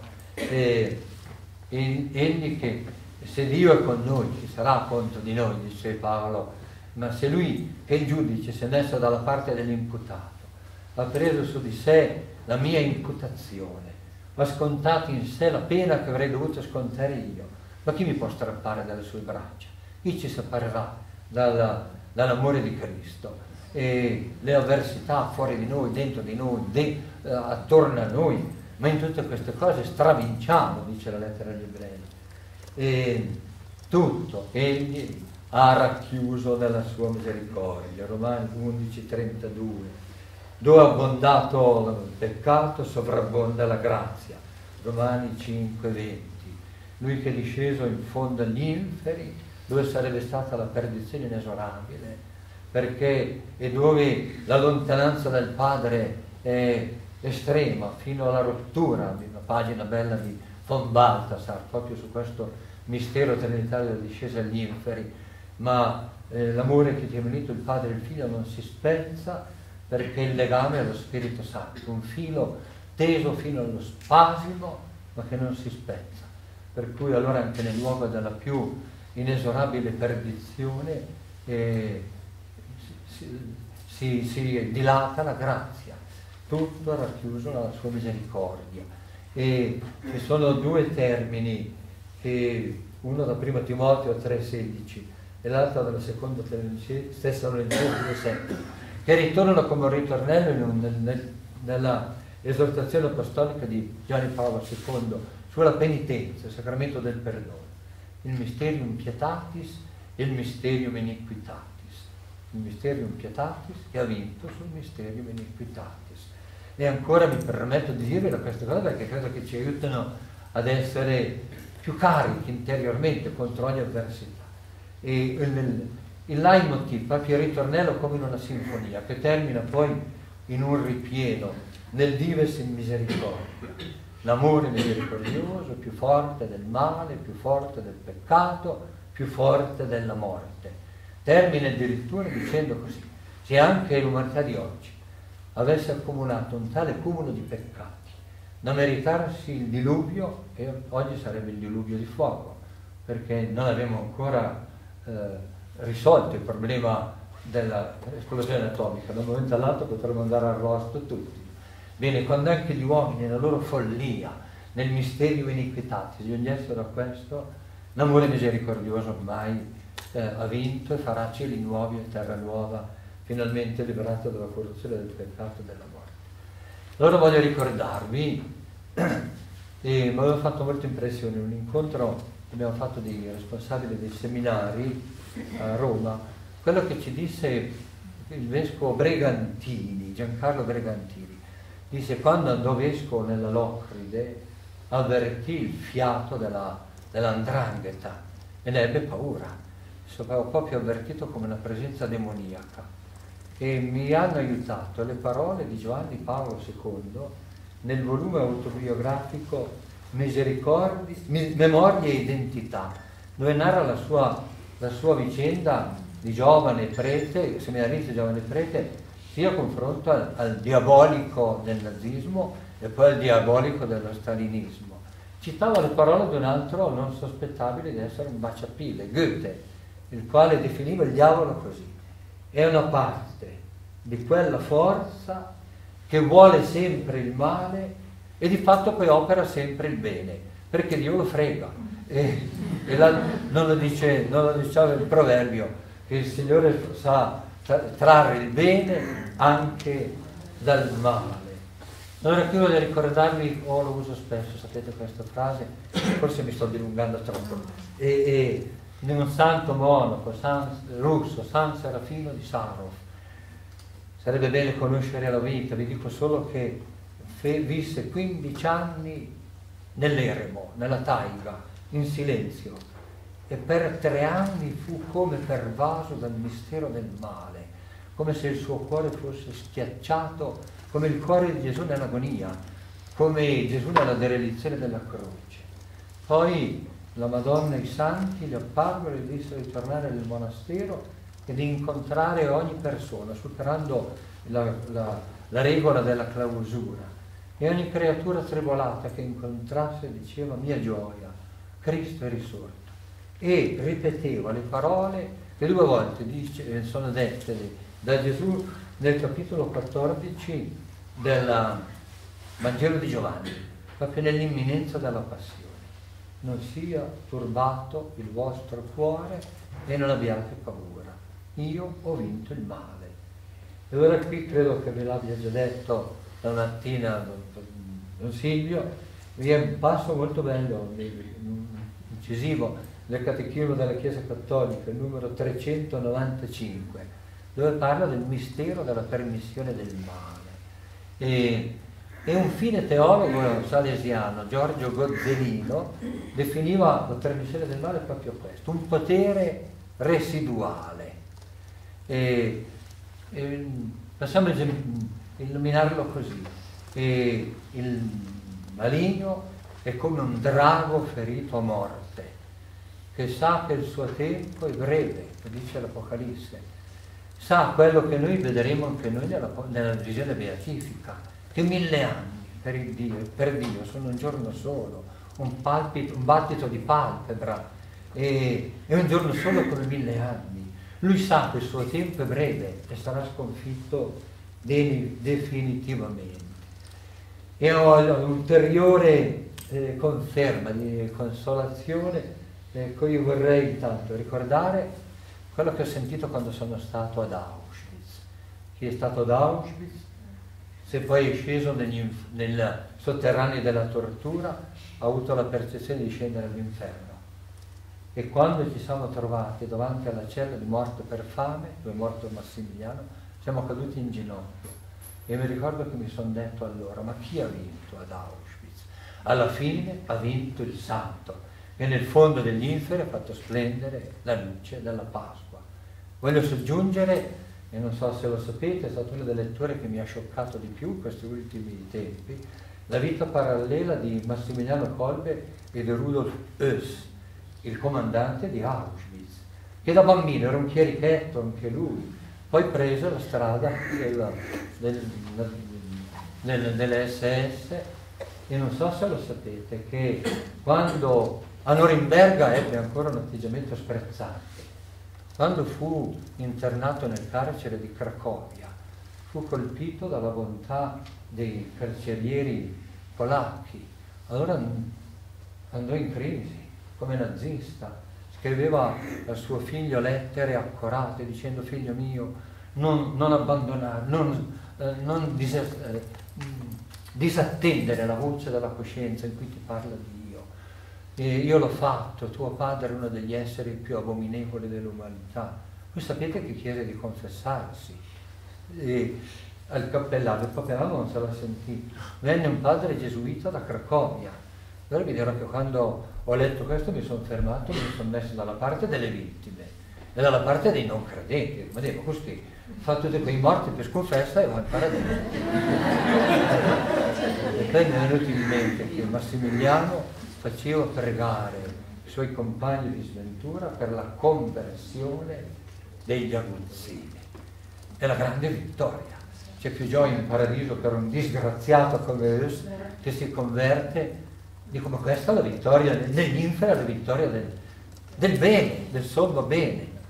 E voglio ricordare anche questo, una, c'è un padre, nel potete trovare il catechismo della Chiesa Cattolica, il numero 312 314, dove è ricordato la, il dialogo tra una reclusa eh, inglese del 400, Giuliana di Normi, che ebbe rivelazioni da Dio, da Gesù, e un giorno vide il problema del male e rimase inorridita. E quando riapparve Gesù gli disse, ma Gesù, ma perché il male? Perché il male? E Gesù disse, eh, il male è il, a questo mondo è inevitabile, fa parte della libertà dell'uomo che, eh, eh, perché la, la, la, la, salvezza avviene attraverso un rapporto di amore, non di coercizione. Però ricordati che infine tutto sarà bene, in tutto e in ogni cosa non sarà che bene.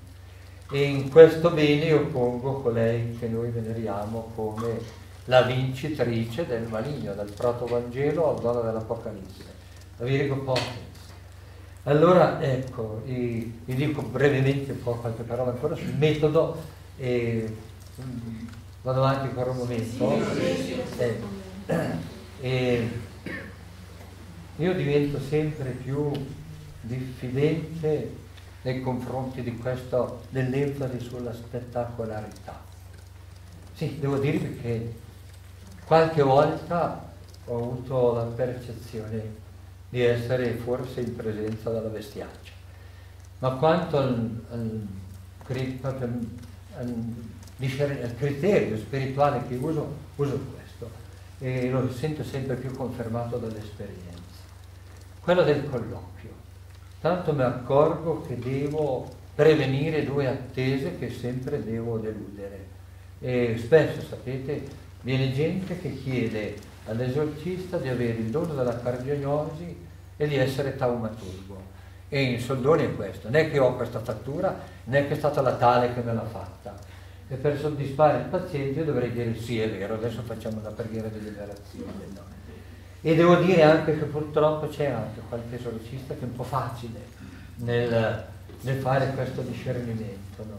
O l'altro del taumaturgo, eh, mi liberi, vengo da lei, molte volte già andati da altri, da, da maghi, e, e, vengono, e, vengono, come per andare dal taumaturgo definitivo.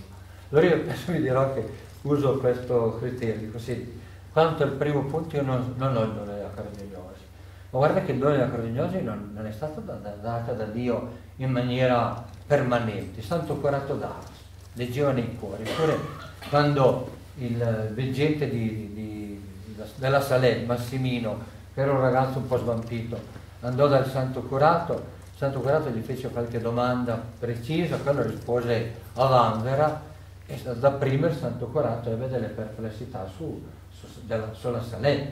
Vuol dire che anche lui ha raggiunto la certezza della Saletta attraverso un percorso interiore, non attraverso eh, eh, così, eh, sortilegi.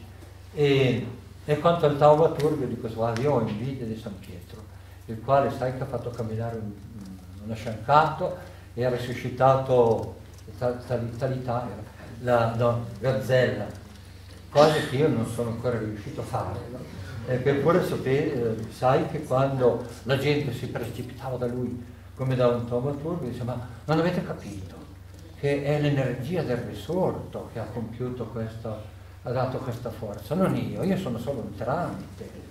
È molto pericoloso eh, quando il taumaturgo agisce in proprio, mi permetto di dirlo, pensate al povero Milingo, perché è pericoloso per il protagonismo della grazia. No? Beh, e, e quindi io rinuncio, la, eh, a volte deludo le attese di benedizioni immediate e, e, e chiedo sempre anche questo, se mi chiedono di andare apposta a benedire, dico guarda, se dovessi assecondare tutte le richieste dovrei essere in giro per solo quello. E chiede il tuo parroco che venga a benedire perché non c'è uno che ha la benedizione più potente dell'altro, no? Siamo nel segno della complementarità della grazia. E poi sento la necessità della priorità del colloquio. Certo, mi tiro anche la zappa sui piedi perché il colloquio è più impegnativo che non dare una benedizione eh, rasserenante. No? Però mi sento come nella professione medica, perché prima si fa la diagnosi in scienza e coscienza, e se non ho il dono della cardignosi devo farlo in scienza e coscienza. E poi arriverò anche alla, a, a indicare una, una terapia. E con l'attenzione poi agli sviluppi, da affrontare nella terapia, sempre nella distinzione poi tra gli antibiotici e i ricostituenti. Ecco, e vi dirò che tante volte nel colloquio si riscontrano sofferenze vere eh, malattie spirituali non guarite, traumi e nodi remoti, non risolti, che fanno male ancora, magari mh, mm, non in maniera pienamente cosciente, conseguenze protratte di disordini esistenziali. Uno ha fatto la vita disordinata, adesso ne paga le conseguenze, ma non sarà un esorcismo che lo risolve, sarà una conversione e vivere in modo penitenziale e, e rigenerante questa sofferenza di cui si deve dire sì, me la sono tirata addosso, ma adesso la vivo nel Signore. No? Ecco, qui, qui poi devo sottolineare la complementarità benefica tra psicoterapia e cura d'anime, quando è fatto, insomma, si, si agisce con attenzione e rettitudine e la, la terapia è complementare. Qui voglio ricordare eh, delle parole di un altro non sospetto di, di essere baciapile, Jung, il quale diceva dopo 40 anni di professione eh, io mi accorgo che cercato o no il vero problema è Dio e che laddove una persona guarisce, recupera la salute spirituale, guarisce le malattie spirituali, eh, comincia a star meglio anche sul piano psichico. Se c'è qualche problema, bene, vado dallo psicoterapeuta e i due procedimenti sono complementari. E sarò breve, ecco qui di solito poi quando eh,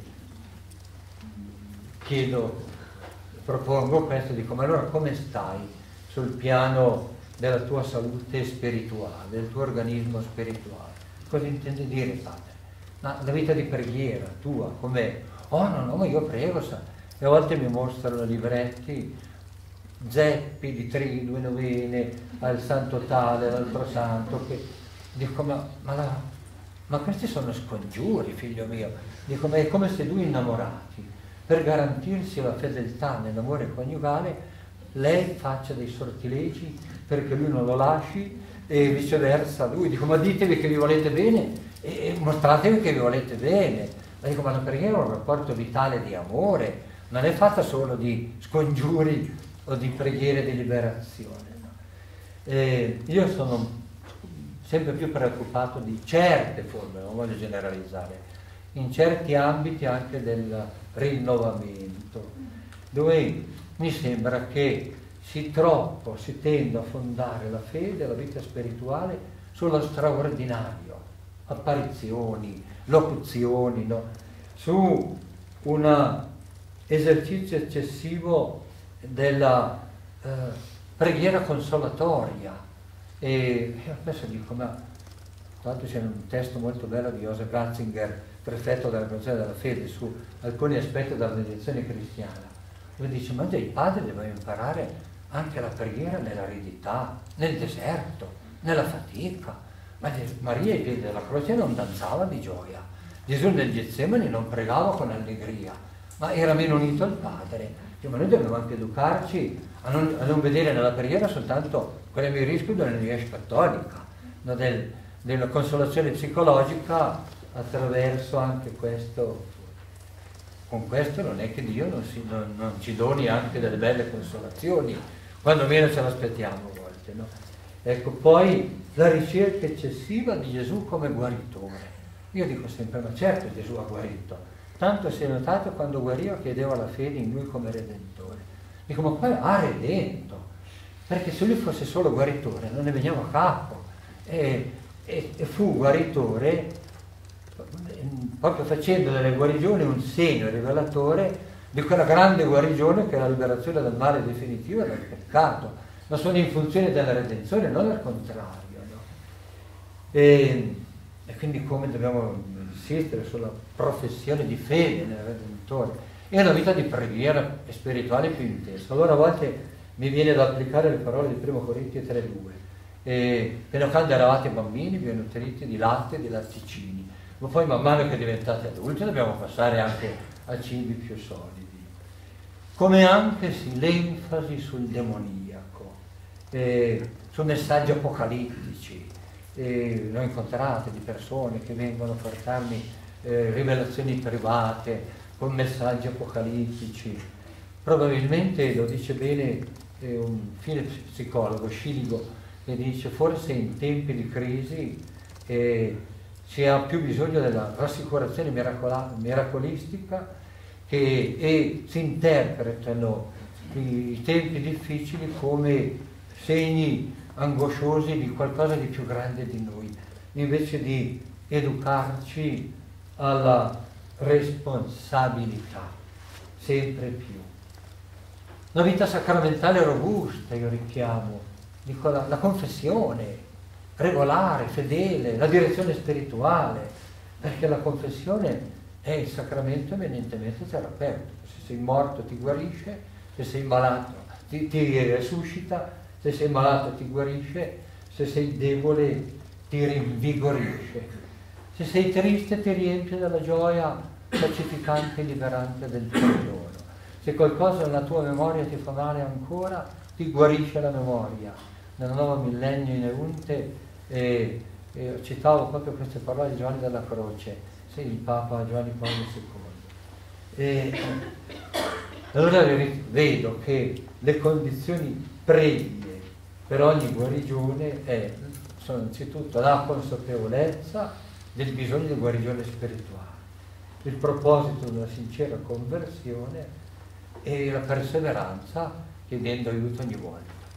E qui faccio due riferimenti evangelici proprio per evitare di enfatizzare l'intervento esterno confronto all'intervento interno. Verso dico, ma quando Gesù andò a casa di Zaccheo, non è scritto che addossò un'autovuota d'acqua santa alle mura della villetta di Zaccheo e Zaccheo disse grazie, eh, ti, vado, ti, pago io il, il, restauro del tetto, metti fuori anche la targhetta come benefattore. Dove, dove venne la salvezza? L'ha detto Papa Francesco in modo forte nei discorsi, no? che non si fanno offerte alla Chiesa con soldi di corruzione. Avvenne quando Zaccheo disse io sono uno sporco, usuraio, io ho succhiato il sangue della gente, io sono un disgraziato, ma c'è salvezza per me? Sì, convertiti. Allora cercherò di riparare il possibile. Boh, la salvezza è entrata in questa casa. Poi si può anche dare un'espressione, ma, ma senza questo anche l'espressione risulta un gesto magico. Altro esempio che porto, poi vado alla fine. La, la, la, il racconto del ritorno di Gesù a Nazareth dopo il suo primo ministero quando era già stato riconosciuto come eh, Messia, dalle parole, come il Messia che il Signore aveva mandato, dalle parole di vita, dei segni di vita. Il suo paese avrebbero dovuto rallegrarsi, pensa, l'atteso di Israele, colui che i profeti hanno preannunciato, il Signore non ha scelto Gerusalemme, l'ha scelto qui nel nostro piccolo paese. Cosa è avvenuto? Che nei maggiorenti è cominciato a scattare il pregiudizio. Eh, ma che era con lei? all'Uscio del Giuseppe, all'Uscio della Maria, no? Sì, oggi, ma faceva l'ignone, non ha neanche fatto l'aura di teologia nella nostra facoltà, adesso va in giro a fare il Messia. Ma c'è qualcuno di noi che ci ha creduto? Il pregiudizio dei maggiorenzi divenne pettegolezzo di tutto il paese. Ha rischiato la pelle quel giorno Gesù e in ogni caso non è riuscito a comunicare niente perché non trovò recezione ma non risulta che abbia fatto lampi, tuoni, luci sinistre, odori, odori nauseanti. È riuscito a insinuare nel cuore pregiudizio e pettegolezzo. Può avvenire anche sul sagrato delle nostre chiese dopo la messa eh, e con l'Eucaristia come sacramento eminentemente, cioè che ci dona la pienezza della vita, ho recuperato anche molto nella preghiera con i separati la forza terapeutica dell'adorazione eucaristica. Ecco di Gesù, l'agnello che è venuto ad assorbire il male del mondo e che irradi in noi il suo spirito che ci guarisce e ci vivisce. Certo, fondamentale allora e decisivo è la formazione di una coscienza vigile e coraggiosa. Porto un altro esempio e, e poi concludo. La, non so se conoscete la storia di Franz Jägerstetter, che era un contadino eh, austriaco. Nella giovinezza, un po' sbandato, ebbe una figlia da una, da una relazione con una cameriera, voleva, lui voleva riconoscerla, sposare questa donna, lei non volle, poi a un certo punto si, insomma, si rifece alla propria vita, si sposò con una ragazza bravissima e lui divenne sacrista della parrocchia. Quando eh, Hitler fece l'Anclus, egli per coscienza si oppose. La moglie era angosciata, cioè questo qui se me lo beccano me lo ammazzano. Riuscì a non essere eh, eh, intercettato dai potenti. Quando ricevette la cartolina precetto dell'arruolamento militare, lui, lui fece obiezione di coscienza e nel nazismo l'obiezione di coscienza significava la moglie non osò opporsi, i genitori di lei eh, lo, lo rimproveravano, come per un tuo puntiglio lasci vedova nostra figlia, lo portarono dal parroco e il parroco disse ma i nostri vescovi non hanno detto niente e la tua coscienza vale più del magistero dei vescovi. E lui, non portarono dal vescovo che disse la stessa cosa.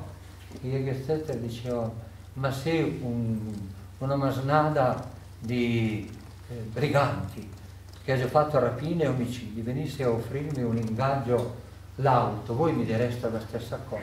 No, beh, però sai qui, eh, hai ragione, però qui sai, si, si tratta di un governo, insomma, fu impiccato. Papa Benedetto XVI l'ha beatificato due anni fa. Allora vi dirò che uno, l'ultimo incontro che mi ha fatto con gli esorcisti del Piemonte, dicevo, pensiamo quanti rapini, magari anche davvero posseduti, hanno han chiesto l'esorcismo, l'esorcista ha ravvisato l'opportunità di fare l'esorcismo. Ma chi al tempo del nazismo intuì dove il maligno stava compiendo la sua azione più diabolica, un regime che avrebbe devastato il mondo. Allora qui dico anche noi oggi stiamo attenti, perché nella politica, nella finanza, Reisto Maritena ha un libro molto bello su il principe di questo mondo, nell'arte, de- il degrado dell'arte, ma non ci sono strutture demoniache che possono fare scatenare guerre anche incruente eh, quanto al sangue, ma ugualmente mortali. E qui possiamo, dobbiamo essere vigilanti. Con, vedo che Papa Francesco ci aiuta in questo. Boh, eh, quanto agli esorcismi veri e propri, quando è necessario si fanno, qualcuno l'ha fatto. Però io vi faccio presente che la, dobbiamo valorizzare ciò che la Chiesa già ci dona Don Silvio l'ha detto stamattina. Nelle nostre promesse battesimali noi abbiamo fatto la professione dell'esorcismo, che significa essere su, sempre pronti a lottare per il bene contro il male che cerca di insidiarci in tutti i modi. Bonhoeffer diceva il cristiano nelle promesse battesimali fa una scelta di continuità e di rotture. Tutto ciò che è di buono, di giusto, di vero, il cristiano fa comunione perché ciò che vi è di buono nella pasta umana è lievitato dalla grazia, ma in ciò che è di sporco, di falso, di ingiusto, il cristiano si imbatte, fa obiezione di coscienza. Non avremmo avuto i martiri se non ci fosse stata questa lotta contro il male da parte di quelli che hanno avuto il coraggio di pagare di persone. E la, la preghiera del Padre nostro e l'embolismo della preghiera liturgica, io lo recito spesso, sapete, liberaci Signore da tutti i mali, conceda la pace ai nostri giorni, è una preghiera di liberazione. A volte andiamo a cercarne di quelle edulcorate o, o superficiali, ma qui abbiamo della preghiera che è un approfondimento della consegna di Gesù, liberaci dal male. Ecco, e, e buon finisco qui perché altrimenti no.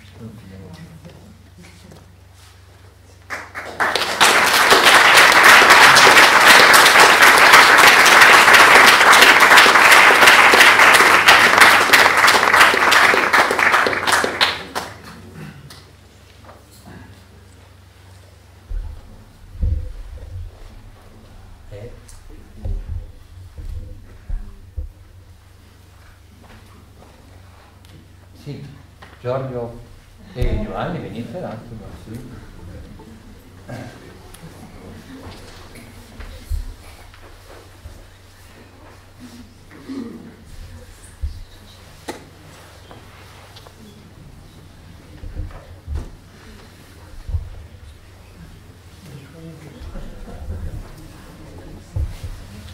Io ero venuto veramente, mi chiamo Giorgio Gagliardi, sono medico psicoterapeuta ero venuto per sentire lui.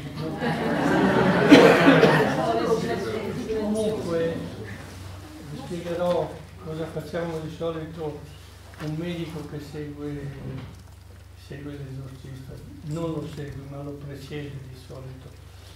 Noi eh, ascoltiamo come il medico ascolta il paziente, noi ascoltiamo il soggetto, cosa ci espone e si sa bene che non sempre quello che, che dice è quello che vorrebbe dire, c'è sotto molto di più.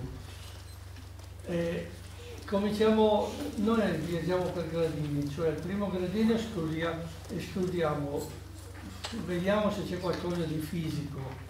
Fisico vuol dire che cade sotto, il, sotto le leggi della fisica. Poi, secondo gradino, il gradino psicodiagnostico, cioè escludiamo oppure valutiamo il disturbo psichiatrico che il soggetto presenta. Tutti abbiamo dei disturbi psichiatrici, tutti quelli che hanno dentro qua, chi più chi meno c'è qualche disturbino psichiatrico. Valutiamo questo disturbo psichiatrico se può portare veramente a quello per cui il soggetto è venuto, perché come diceva giustamente Padre Mario, è difficile che venga per esempio, c'è la possessione lucida, che è la possessione di quelli che non vogliono assolutamente, cioè che sono dediti al male, sono operai del male, perciò quelli lì quasi sempre non vengono e non, non vanno dall'esorcista e sono quelli che, quelli che, veramente sono dei posseduti veri e propri perché sono al servizio. Finita la, il lato psico, psicodiagnostico, con l'aiuto anche dei test, si entra in un mondo che si chiama un po' ballerino, si chiama paranormale e che però è un mondo abbastanza, abbastanza complesso e che ultimamente ha avuto anche delle spiegazioni soprattutto con le, le, applicazioni della fisica subatomica. Non entro in questo discorso, se no entreremo in un discorso piuttosto grave, grave, pesante, ma è come per dire eh, ci sono delle leggi della fisica subatomica come questo un elettrone, se noi lanciamo un elettrone questo può uscire da due porte. Pensate un po' cosa, cosa vuol dire, cioè eh, ci sono delle leggi fisiche che sono state sovvertite dalle leggi subatomiche e che spiegherebbero determinate cose. E questo, questo paranormale però eh, va, preso, va preso con molta cautela Finito il paranormale si entrerebbe in un'altra fascia superiore che sarebbe il mondo preternaturale o diabolico e poi il mondo soprannaturale o, o divino. E questi noi non ci, non ci, facciamo assolutamente carico perché è inutile, noi ci fermiamo, siamo dei medici, siamo esperti in medicina e così, ci fermiamo solo ci fermiamo anche al paranormale, chi lo sa. Io per esempio eh, faccio parte di un laboratorio di Bologna del paranormale e eh, mi, interessa anche di quello, si danno, si danno dei giudizi, si scrive un'anamnesi, che vuol dire si scrive una storia della persona, e poi oltre, oltre a questo si aggiungono tanti dei piccoli particolari che di solito sfuggono, che per esempio gli psichiatri non chiedono mai se il soggetto è andato da maghi, se è andato da esorcisti laici, se è andato per esempio, eh, se segue delle religioni, eh, che so io, è andato a tutta parte adesso eh, o, da altre parti indiane a, a, imparare determinati rituali, determinate cose. Tutto questo, tutta questa anamnesi poi dopo eh, la portiamo dall'esorcista e la discutiamo. Cioè gli diciamo guarda che questa malattia può portare a questo, questa malattia può portare a questo, questo può portare a questo. Non è escluso che ci possa essere anche una parte spirituale in tutto quello che si, quello che si porta. Un esempio pratico è quello che io ho avuto anni fa, una, era una, una dottoressa resto, una laboratorista, che eh, presentava al venerdì e soprattutto al venerdì santo delle stigmate, cioè perdeva sangue dalle mani, dalla fronte e dai piedi. E è venuta lì perché lei non voleva queste cose, lei non voleva, diceva io non voglio, non voglio. eppure al venerdì succedeva così, doveva stare a casa dal lavoro e io gli ho detto, eh vabbè, eh, succede, gli avevo chiesto delle analisi, se aveva fatto così, lei mi ha detto sì, ho fatto qualcosa e mi era tutto a posto. Quando esce, quando esce dalla porta, perché di solito le diagnosi più importanti le dice il soggetto quando sta andando via. È proprio vero, le ultime parole che dice sono le più chiarificanti della sua situazione. Questo ha detto, io maledico mia madre perché mia madre c'è il lupus, il lupus è una malattia che fa venire emorragie lei, eh, chissà per quale motivo, aveva traslato, aveva spostato l'emorragia in quei punti, quei punti chiave religiosi e che gli succedevano con quella frequenza lì e che non voleva. Perciò vedete che ci sono delle, delle spiegazioni natura, naturali, spiegazioni normalissime eh, che, per cui questa gente va, va dall'esorcista, sì, vero e proprio, cioè, oppure va in un centro dove c'è l'esorcista perché dice mi deve liberare di queste cose. Ma se tu c'è il lupo, mi dispiace, sì, possono, succedere miracoli, ma di solito non succede tutto questo. Ce ne sono diversissimi di questi casi, proprio così. Eh, c'era per esempio una, un chierichetto che ha 7-8 anni che andava sempre a servire messe che usciva dalla chiesa da, da una porta, la mamma l'accompagnava, usciva sempre, mettiamo dalla porta di destra. Un determinato giorno si esce dalla porta di sinistra,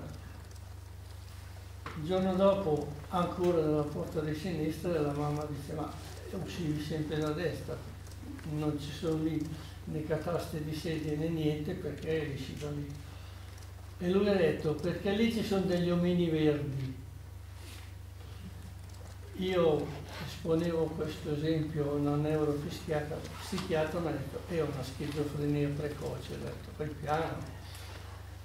Eh, questo ragazzo, la mamma gli ha chiesto perché chi erano quegli omini verdi lì? Le, cioè il ragazzo ha detto alla mamma che quegli omini verdi lì erano lì e poi erano anche lungo la strada per andare a scuola.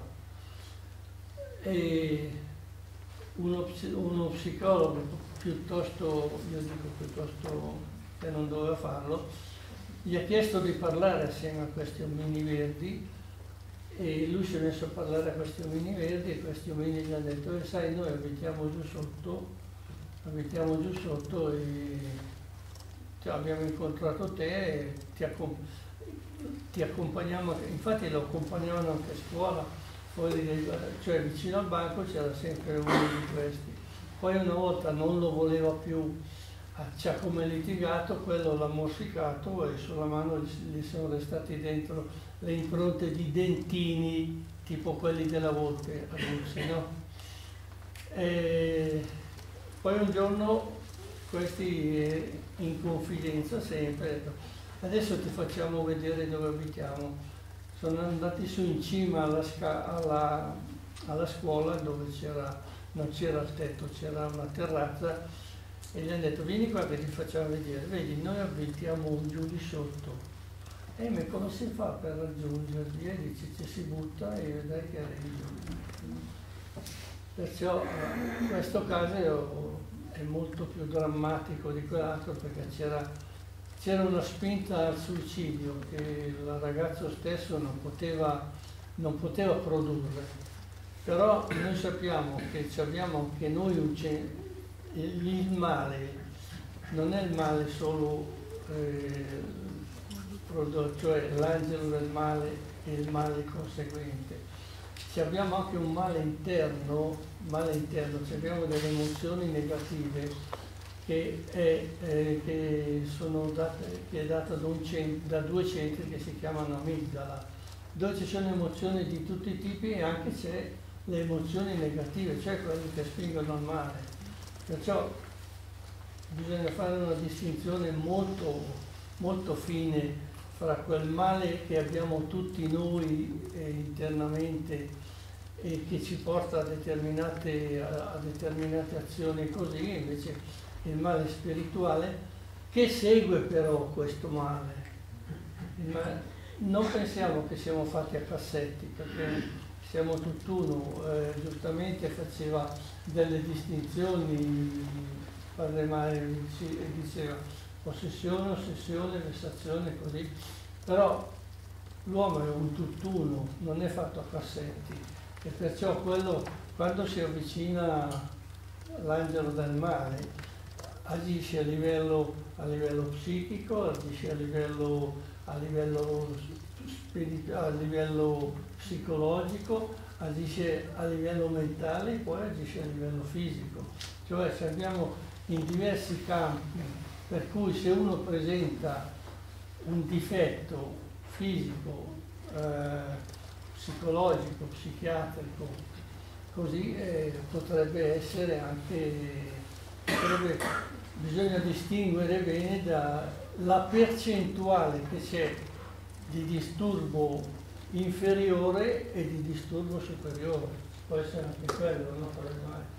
Cioè c'è una convinta che certe volte no, non si è neanche il caso molto bene di distinguere perché anche noi siamo limitati, abbiamo i nostri difetti, poi hanno scritto giustamente eh, de, uh, due libri, Il guaritore ferito, cioè chi cura gli altri molte volte è pieno anche lui di ferite. Io mi fermerei qua perché non saprei cosa aggiungere. Ma voglio dire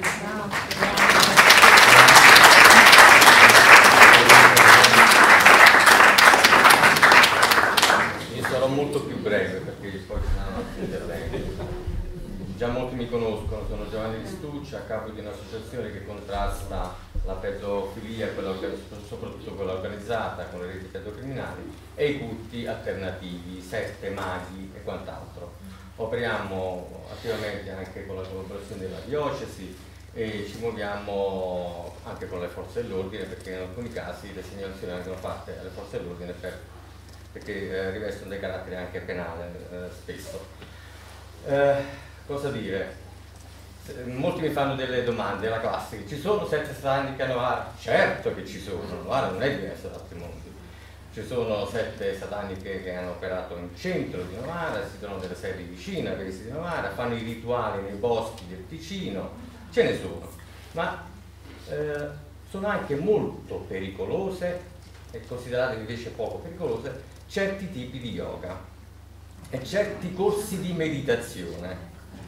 Poi dice, ma che male, faccio un po' di meditazione, bene. Ci sono degli yoga, come per esempio Saja Yoga, inventata da una santona indiana che non è riconosciuta neanche in India ed è stata anche malamente cacciata via dal proprio paese, si chiama Saja Yoga che è passata a miglior vita, chissà in quale animale adesso si sarà incarnata, ecco che eh, faceva uscire l'arietta fresca dalla fontanella sulla testa dei bambini della scuola Fratelli Dio qui di Novara, pochi anni fa, in cui ci siamo dovuti scontrare con le mamme con le mamme di questi bambini che dicevano non fanno nulla di male, fanno meditazione, i bambini a 6 anni facevano meditazione. E gli facevano sentire la retta fresca che usciva dalla testa, con un classico trucco stratagemma che ho visto fare anche al quartiere ovest di Novara dove spesso si incontrano a fare degli incontri con gli adulti. E uno di questi incontri sono andato anch'io a vedere cosa succedeva realmente, come, come si manifesta, quindi la classica immagine della Santona che viene eh, già deificata da, da, viva, ancora di più penso da morta, con eh, lumini accesi, fiori, incensi accesi, eccetera, eccetera. E poi tutto un rituale per cui si sentiva, mettendo la mano sulla testa, l'arietta che usciva dalla testa. Adesso è vero che il dottore ha detto abbiamo tutti dei problemi più o meno mentale. è vero che mia moglie non c'è perché se fosse stata qui presente avrebbe detto sì dottore effettivamente, c'è questo, questo mio marito, per fortuna che non c'è. Però che abbia nella testa così vuota che ho anche una, una ventola che può uscire l'aria. Ecco, sarebbe proprio Ecco. Ed era il classico trucco poi alla fine di tenere le mani in basso, non so se avete visto quel trucco di indovinare dove ho messo la pallina e quale mano l'ho nascosta. Una mano la tieni in alto e l'altra in basso. Poi si mettono vicine le due mani, quella più chiara, perché il sangue è defluito, e quella dove ho nascosto la pallina e quindi viene facilmente individuata. No? Ecco un trucco semplicissimo, bussava a questo. Quindi le due mani sempre rivolte verso il basso con tanti rituali, tante parole di dedizione alla santona e poi alla fine il, il signore o la signora di turno gli facevano mettere la mano sulla testa a 30 cm in questo modo mentre l'altra stava sul basso. Dopo un po' questa mano si raffresca perché c'è un deflusso del sangue essendo il palmo della mano più sensibile del dorso, essendo più fresco sotto la mano che non sul, dorso, ma non è la testa vuota mia che mi fa rinfrescare la mano. Però sapeste, in questo quartiere tutte le persone che arrivano, è vero, vero, vero. Tutti, nessuno che abbia minimamente pensato cosa sta accadendo, cosa si sta facendo pensare. Scusate. Scusa, volevo, volevo dire attenzione che nello yoga, forse non so in quanti lo sanno, ma ci sono i cosiddetti chakra, no? che bene o male poi li aprirebbero, o, cioè ci sono quei tecnici lì che li fanno aprire. Nessuno, cioè ogni, ogni chakra ha un devi e una deva, cioè c'è un dio e una, de, e una deva. Per esempio quello del collo c'ha la dea Kali, la dea Kali è quella che ha 7-8 testi così, perciò vedete anche voi che gli esercizi che si fanno non dicono completamente eh, che sono semplici, semplici esercizi, perché mano a mano che si vanno avanti fanno, fanno queste cosiddette aperture che finiscono per essere delle induzioni psicologiche vere e proprie di dipendenza a queste cose. Poi un altro, un altro problema invece sono le meditazioni che eh, sappiamo benissimo possono avere anche delle gravi eh, influenze sul, sull'aspetto psicologico della persona e il dottor Gagliardi ne sa qualcosa perché parecchie persone sono dovute passare da lui che è psicoterapeuta dopo aver fatto dei corsi meditativi in alcuni centri guidati non si sa da chi, qualcuno che si inventa eh, maestro meditativo e eh, vengono fuori con delle ripercussioni e spesso anche dall'esorcista. Perché certi tipi di meditazioni ci sono delle situazioni che a livello spirituale procurano delle, dei disturbi per cui il padre Mario di turno deve intervenire con, con la sua missione, con la sua opera. E Dulcis in fondo, e chiudo qui, la grande sequela di veggenti o pseudo veggenti che circola per tutto il territorio nazionale, europeo, addirittura mondiale c'è una persona che dice lì quella persona parla con, con San Giuseppe. Boom, marea di pullman arrivare a vedere San Giuseppe. Uh, non so, mamma Lucia giù a Foggia. C'è un pullman al mese che parte da Novara per andare a mamma Lucia di Foggia. Sconfessata, sconosciuta, riconosciuta una grande truffatrice ma comunque continuano ad andare le persone da mamma Lucia. Oppure la cartomante di casa che va a messa a chiesa la la messa, si fa la comunione e poi a casa sua ti fa le carte, ti legge i fondi oppure ti fa altre, altre fa l'indovina. Ecco. Ci sono anche questi e poi questi veggenti che vengono qui, noi abbiamo, abbiamo avuto una volta la sfortuna di incontrarci con una certa Deborah che viene, viene da Manduria, ci siamo dovuti rivolgere anche al sacerdote dove si stava organizzando questo gruppo di preghiera avvisandolo che questa persona non è assolutamente una veggente, è stata eh, sconfessata pubblicamente dalla diocesi di Oria, da cui proveniva lei, e, eh, e, che quindi non era per niente vero. È stata anche riconosciuta da, dal CICAP eh, per alcuni trucchi che utilizzava per far apparire quest'olio della, della Madonna di, de, della Puglia, anche questo da Puglia eh, a cui ha partecipato anche il dottor Gagliardi per, per riconoscere questa, questi trucchi che venivano utilizzati tramite gli esperimenti e nonostante questo la gente continua ad andare a seguire questa persona che gira per l'Italia ah, raccogliendo soldi, raccogliendo fondi perché devono vendere dei messaggi, i rosari particolari e quant'altro. Ma non è l'unico caso, eh, ce ne sono tanti. Di veggenti c'è stato anche qui a Sagrante a Borgosesi a tempo fa per cui eh, appariva Gesù, c'era anche una foto di un Gesù in un certo modo, ecco, anche lì si è riconosciuta essere tutta una, una, una storia non vera, assolutamente non vera, anche la Chiesa ha preso le sue belle distanze, eh, tanto che mi sembra che a causa di questo signor Casagrande delle persone abbia avuto, abbiano avuto delle gravi lesioni alla retina degli occhi perché dovevano fissare il sole su un monte nella, nella, in Liguria perché il sole doveva ballare, avendo delle conseguenze anche piuttosto gravi e permanenti. Ecco perché dico, mm, il, come diceva poco fa Padre Mario, e qui concludo, c'è la ricerca del fenomenico, la ricerca di un Dio che faccia il prestigiatore, di un Dio che faccia spettacolo. Dio non è spettacolo, è la vita, è già di per sé uno spettacolo. Basta vedere il miracolo che in questo momento il mio cuore sta battendo dentro il mio petto senza che io mi debba sforzare di dire adesso batti, adesso no, adesso comprimiti, adesso no. Sto respirando senza dover dire al mio polmone di aprirsi e di chiudersi ritmicamente. Sto pensando, magari sto dicendo anche delle sciocchezze, senza dovermi sforzare che il mio cervello elabori, elabori un pensiero.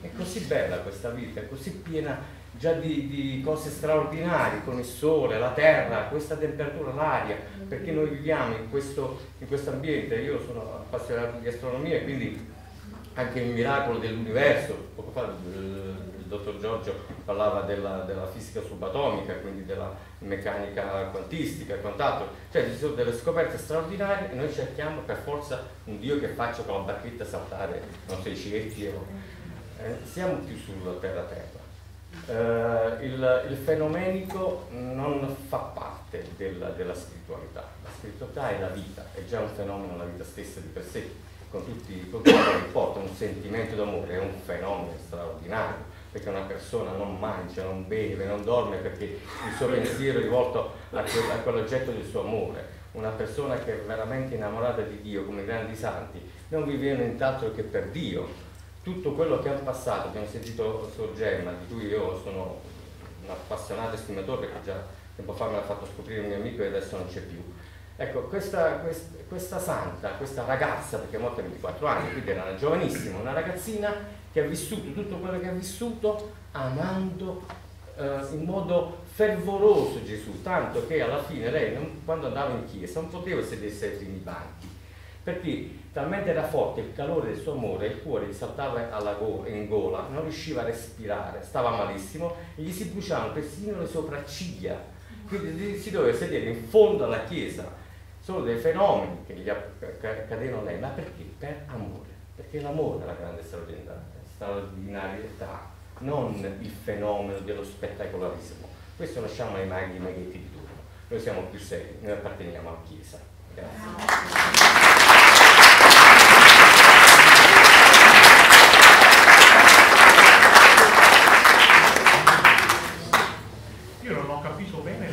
Differenza tra ossessione, possessione, vessazione, infestazione? Non, non, è facile indicare le differenze, ma comunque è nello schema classico un po' della tradizione eh, della, dei maestri di vita spirituale, insomma. E quindi eh, la possessione ha più aspetto visibile, quello che si sentiva di, di Gemma Galgani L'ossessione invece è qualcosa di più interno, che è paragonabile proprio alle fissazioni. No? E, e, qui credo che dobbiamo collegarci con quello che diceva Giorgio, che voi pensate un'ideologia che diventa, um, che possiede eh, un popolo intero, pensiamo all'ideologia nazista, no? è, qualcosa, è partito da qualcosa di interno, non c'erano fenomeni visivi. No? Ecco, la versazione è più qualcosa di compulsivo che spinge a compiere atti disordinati. E l'infestazione è quella che può colpire persone o, o luoghi con fenomeni fisici, abbiamo provato, no? cioè eh, rumori strani, oggetti che volano, oppure eh, a volte anche mali, malesseri, mali fisici. Ecco, e qui devo dire che per quanto riguarda questo, eh, una dei, delle preoccupazioni che mi capita spesso di incontrare è quando viene gente che tende a interpretare malattie, mali, malesseri, dove vi è insito la parola male, no? come maleficio.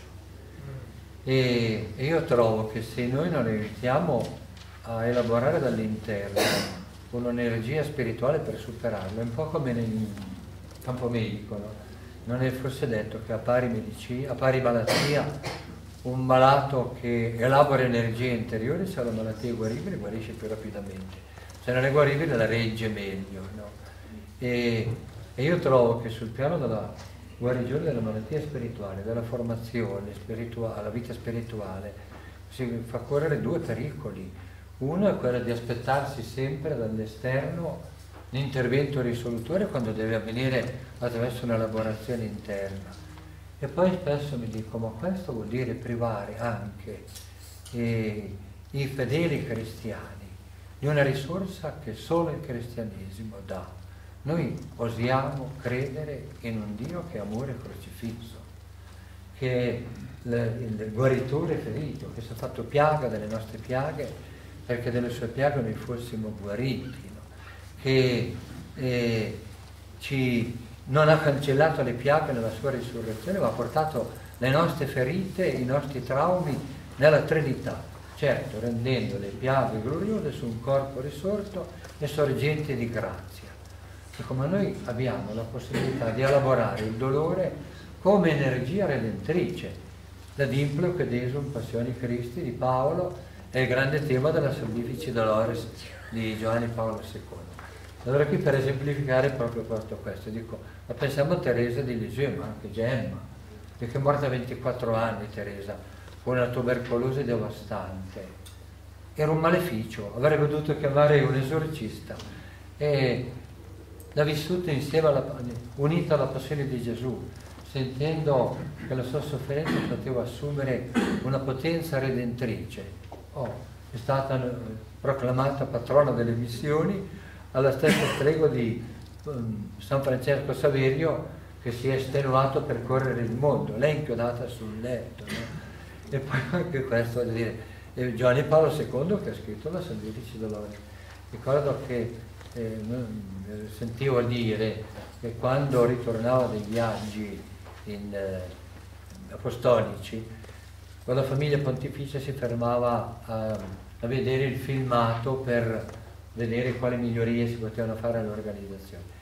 Si trattava di uno degli ultimi viaggi, forse era quello in Mongolia, ricordo anch'io, che sbavava, la televisione lo riprendeva in modo impietoso e diceva che i familiari mostrarono certo, certo imbarazzo e lui lo, lo si accorse e disse ma cosa credete? Io non vedo lo stato in cui sono conciato, ma se il Signore mi chiede di offrire questo per la Chiesa chiedo solo la forza di continuare ad offrirlo.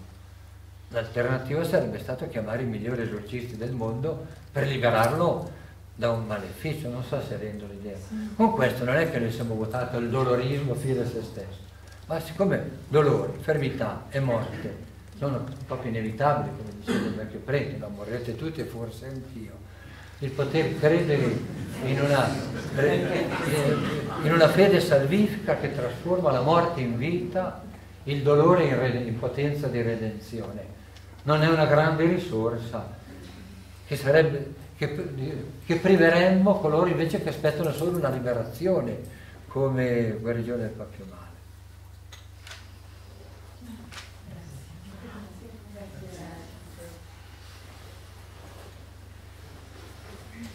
Se posso ehm, magari anche tutti e due, perché questo sarà uno dei temi che ci attraverserà lungo tutto l'itinerario, cioè rispetto al tema della possessione, prima parlava della possessione fredda, come l'aveva chiamata? Lucida. Lucida, ecco, lucida, dove uno si consegna nella sua grande libertà, è consegnato dal demonio e dall'altra parte abbiamo invece tutta una serie di possessioni, in pratica si struttura su eh, dire, una forma di alleanza dove uno è alleato con il demonio e dall'altra invece è vittima allora, il caso della vittima, dove uno è schiavo di una forza superiore, che non è la, la, la, storia dei santi, perché i santi sono dei lottatori dove si guardano bene da rimanere vittima, perché sanno che il Signore è superiore, però eh, per esempio io penso a tutti gli esorcismi di Gesù nel Vangelo ha a che fare con delle vittime più che non eh, una possessione lucida. Eh, allora, questo aspetto, cioè eh, del, della possessione intesa come figura di vittima, rispetto all'altra forma di possessione, che è un'altra cosa ancora rispetto alle tentazioni tipiche delle storie dei santi. Ecco, se cito una parola anche su questo, perché su consegnarmi, eh, cioè liberare uno eh, che decide di fare un patto col demonio, nel misura in cui quello si converte e decide di rompere il patto, la vedo tutto sommato semplice. Ma quando uno vorrebbe anche liberarsi, ma il demonio vuole stare con lui, eh, qui è più difficile.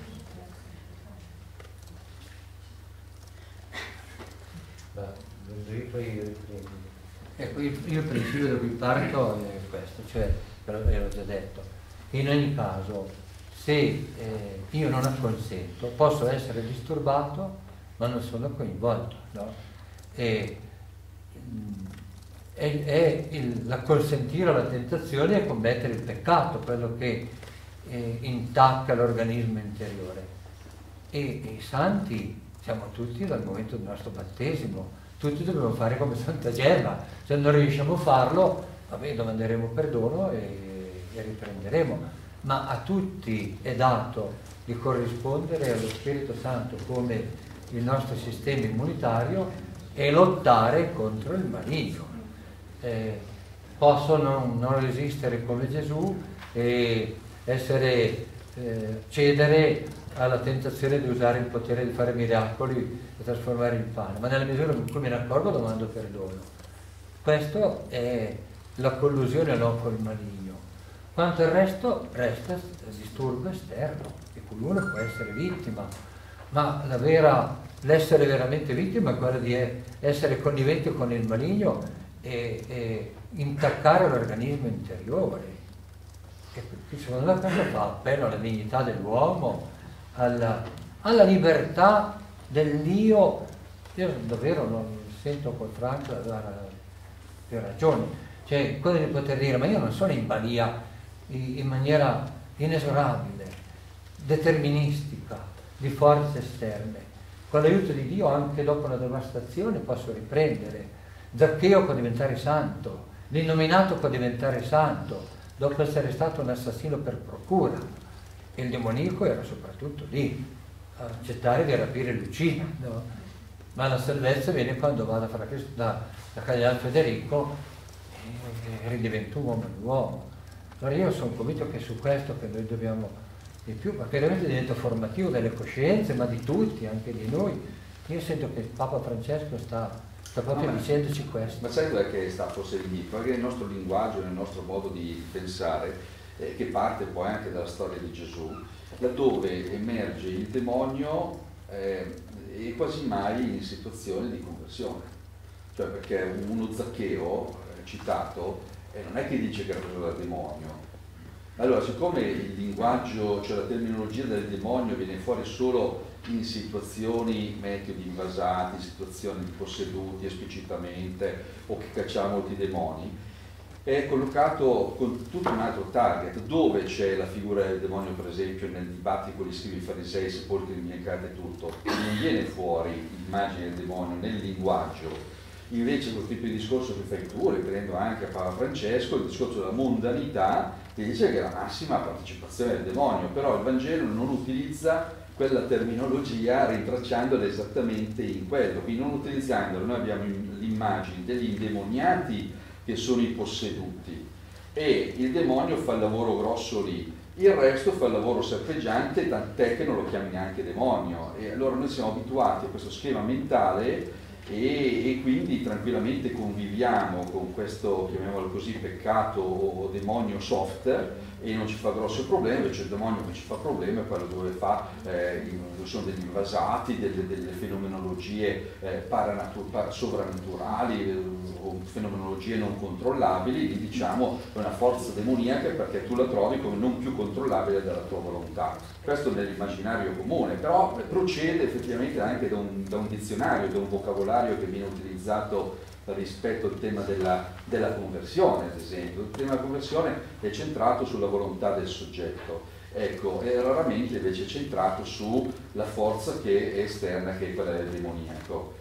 E invece a forza del demoniaco tu la trovi dove sei considerato vittima, non sei considerato invece responsabile. Senti, ho detto in maniera grossolana, intanto ripeto, e dico che la morte di Gesù non fu provocata dai indemoniati di Gerasa, dalle battone o dai pubblicani di Gerusalemme, dagli uomini del Sinedro dagli uomini del Pretorio. Oh, abbiamo ammazzato Dio. Eh. E poi, dice bene il Catechismo, la Chiesa Cattolica, la parafra, dice il, male più grande che mai sia venuto sulla terra.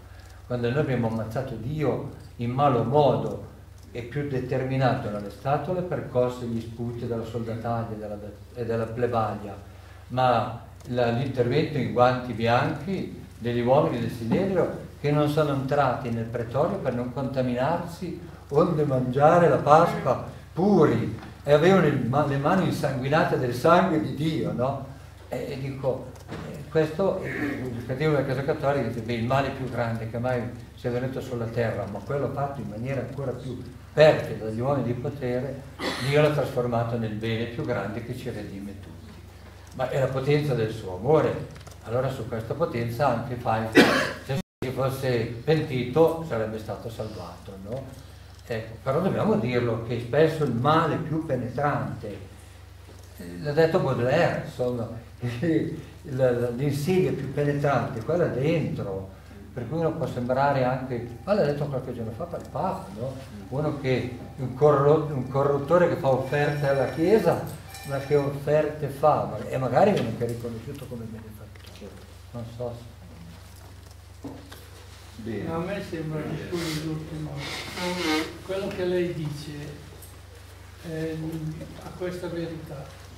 È ben vero che ci sono i posseduti veri e propri, che però sono una percentuale minima riguardo a quelli che pensano di essere posseduti. C'è la demonomania, cioè vedere il demonio da tutte le parti la demonofobia, aver paura che il demonio sia in tutto quello che è di negativo e che compare, o la demonolatria, proprio l'adorazione vera e propria del demonio come possono fare i rituali, i rituali che fanno così. Perciò c'è da distinguere che anche qua eh, c'è da distinguere una possessione, che la, la possessione spirituale per conto mio non è che esiste perché mi sembra, non so se sto dicendo un'eresia o no, ma mi sembra che il demonio, l'anima non possa possederlo, cioè possiede il contorno, quello che si diceva prima, vessazione eh, oppure quelle altre forme, eh, ma il, il, vero proprio, il vero e proprio distinguo è questo, la parte spirituale quando il, il demonio arriva e lei diceva ha una, una, possessione soft. La possessione soft è quella che ci offre il mondo, il mondo al giorno d'oggi. Lei guardi la televisione, guardi tutto e, e si rende conto che bene o male se uno aderisce a quello che dice la televisione, a quello che dicono i vari, i vari transgender e così che, che non, è una cosa veramente che, che non regge, che non sta in piedi e che è una possessione soft, cioè ci lasciamo impossessare a, secondo la moda e in una maniera che non è che, che ci sfugge che è una vera e propria possessione. Questo non toccare l'organismo interiore. Eh, scusate, io volevo chiedere un'altra cosa. Ho sentito prima della relazione del padre, in termine così abbastanza velocemente, non l'ho approfondito, fattura, fattura esterna. Ora vabbè, abbiamo tutti in mente eh, le società primitive, gli sciamani, i riti delle bamboline con gli spilli, i riti voodoo, tutte queste cose, no? Vabbè, noi viviamo in una società occidentale, razionale, eccetera, e io volevo cercare di capire ecco, la, il gioco di una eh, frattura lanciata, um, nella, una maledizione lanciata, maleficio nella nostra eh, società. Cioè in questo senso, se uno di noi è a conoscenza, viene a sapere che una persona um, l'odia al punto tale da augurargli del male, il fatto di essere consapevole dà dolore, fa soffrire, indemolisce, no? ci, ci, ci, si sente fragili perché si addosso l'odio di qualcuno. Però, ehm, e, questo mi è comprensibile, eh, mi stavo chiedendo invece se c'è da parte di qualcuno un odio così forte che cerca di creare un'aura di maleficio, diciamo, intorno ad un altro, e l'altro non è consapevole può essere in qualche modo raggiunto o per una forma, per via, non so, paranormale, telepatica, subliminale, insomma, oppure può giocare proprio un ruolo anche di, spiritualmente, di influenza maligna che in qualche modo può realizzarsi. Non, non so se mi sono spiegata. Ha fatto bene quella distinzione lì a metà, a metà discorso.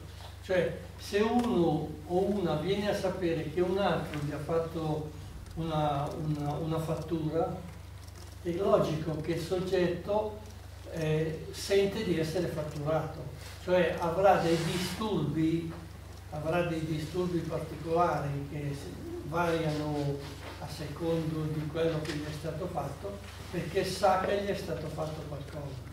Se invece non sa che gli è stato fatto qualcosa, è un po' come, un po come quando ai tempi si tiravano le frecce. Su 100 frecce che partono ne possono arrivare uno o due per caso, possono arrivare per caso, ma però quasi sempre poi si ha anche la, eh, Dio non ne so fare niente, se permette certe cose le permette, le permette lui, nel senso appunto che se una fattura fa effetto, fa effetto perché ci sono delle circostanze che gli fanno fare effetto, non, per, non la fattura in sé.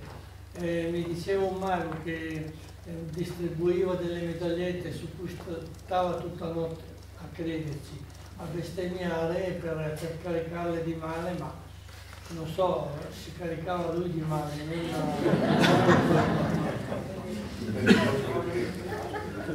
Quanto a me devo dire, eh, capita spesso, c'è poi una signora che ormai faccio quando viene Benedico l'acqua e l'ascolto, che viene e mi dice sempre, né che è la mia zia, una povera donna di 80 anni, che è la strega che gli fa il male. E io dovrei un calzantiere. Una, una volta che ho tentato di fare un criterio di discernimento, dico, senta, lei vuole che io creda che sia sua zia ma e se la gente del suo paese venisse a dirmi che è lei che fa, io no, e dico, ma allora vedi che anch'io devo essere cauto e prudente a far che credere, perché insomma c'è stato un tempo che avevo bruciato povere donne fuori di testa, ma che non lo ero. Poiché ci sia queste influenze negative, sì, possiamo anche riconoscerlo, però io torno ancora al principio ditemi se, se, è giusto, invece devo cambiare, cioè, che ancora una volta è un disturbo esterno che può disturbare, intaccare, ma non tocca il nostro organismo interiore. L'ha detto Gesù, che giova l'uomo guadagnare anche il mondo intero, assumere il potere più totale, vedendo anche l'anima al diavolo, essere un uomo brillante, avere successo eh, e poi perde l'anima sua. Ecco. E uno può anche essere colpito, angariato, morire a 24 anni come Gemma, no? Ma, ma l'anima la salva. Dico, allora la priorità è questa, no? Poi sul fatto anche del come, sì, io credo che molto di, dobbiamo eh, verificare, con, nel, verificare le psicosi. Io ho imparato ad avere un grande rispetto delle psicosi perché sono vere sofferenze, però ho anche cercato di aiutare a liberarle. Se volete ve lo dico con un'esperienza mia personale che mi ha aiutato molto. Io l'anno scorso ho fatto la cardioversione e dieci giorni dopo la cardioversione di notte alle tre e mezza cominciavo a sentire fitte che andavano dalla spalla al cuore e dal cuore alla spalla. E io mi sono fatto la persuasione che erano sintomi dell'infarto. Adesso io l'infarto non lo prendo perché lo prendo il comadin, però devo avere perché il cuore malconcio e allora vi dirò che fatto, avrò rallegrato il paradiso, perché facevo delle gran preghiere in preparazione alla morte. Madre mia, ti ho pregato tante volte ore nell'ora della mia sequestra Poi quando ho fatto l'Olter, ho segnato, e accuratamente ho segnato alle ore tre e mezza, i, diligentemente i medici sono andati a vedere il tracciato, il tracciato era buono, allora ho capito che era di altro origine, non lo so, un'infiammazione al nervo. Però vi assicuro che tra vivere quel male come infarto imminente e viverlo come un male fastidioso che mi lasciava dormire, ma non come infarto è cambiato molto. e quindi dico anche questo dovevo dargli, perché ovviamente si comincia a fare nelle psicosi, si vede streghe, anche nelle persone più care, insomma Ecco, ed è effettivamente un lavoro continuo di discernimento, dare, prendere sul serio il problema del male, ma stare attenti anche a non dare interpretazioni esorbitanti, fuorvianti. Abbiamo concluso allora due cose. Ciao. Uno faccio notare che noi siamo garantiti perché mi sembra proprio che sia il siglo. Questo.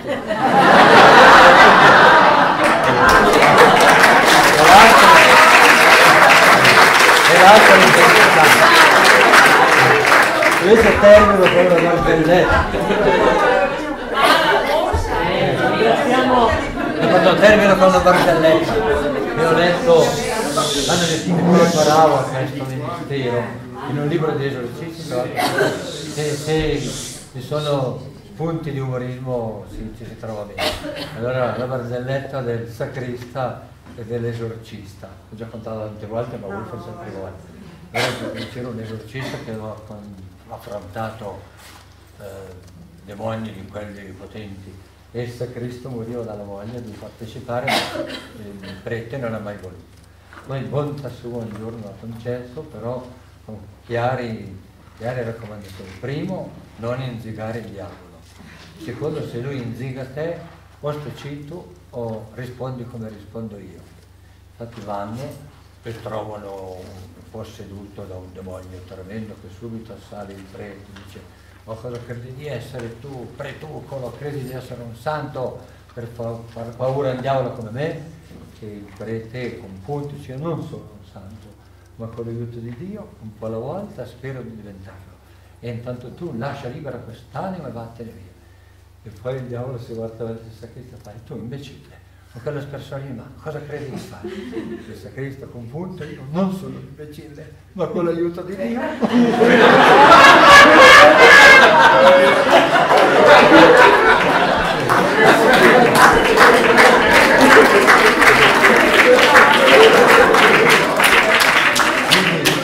la via dalla santità non è preclusa.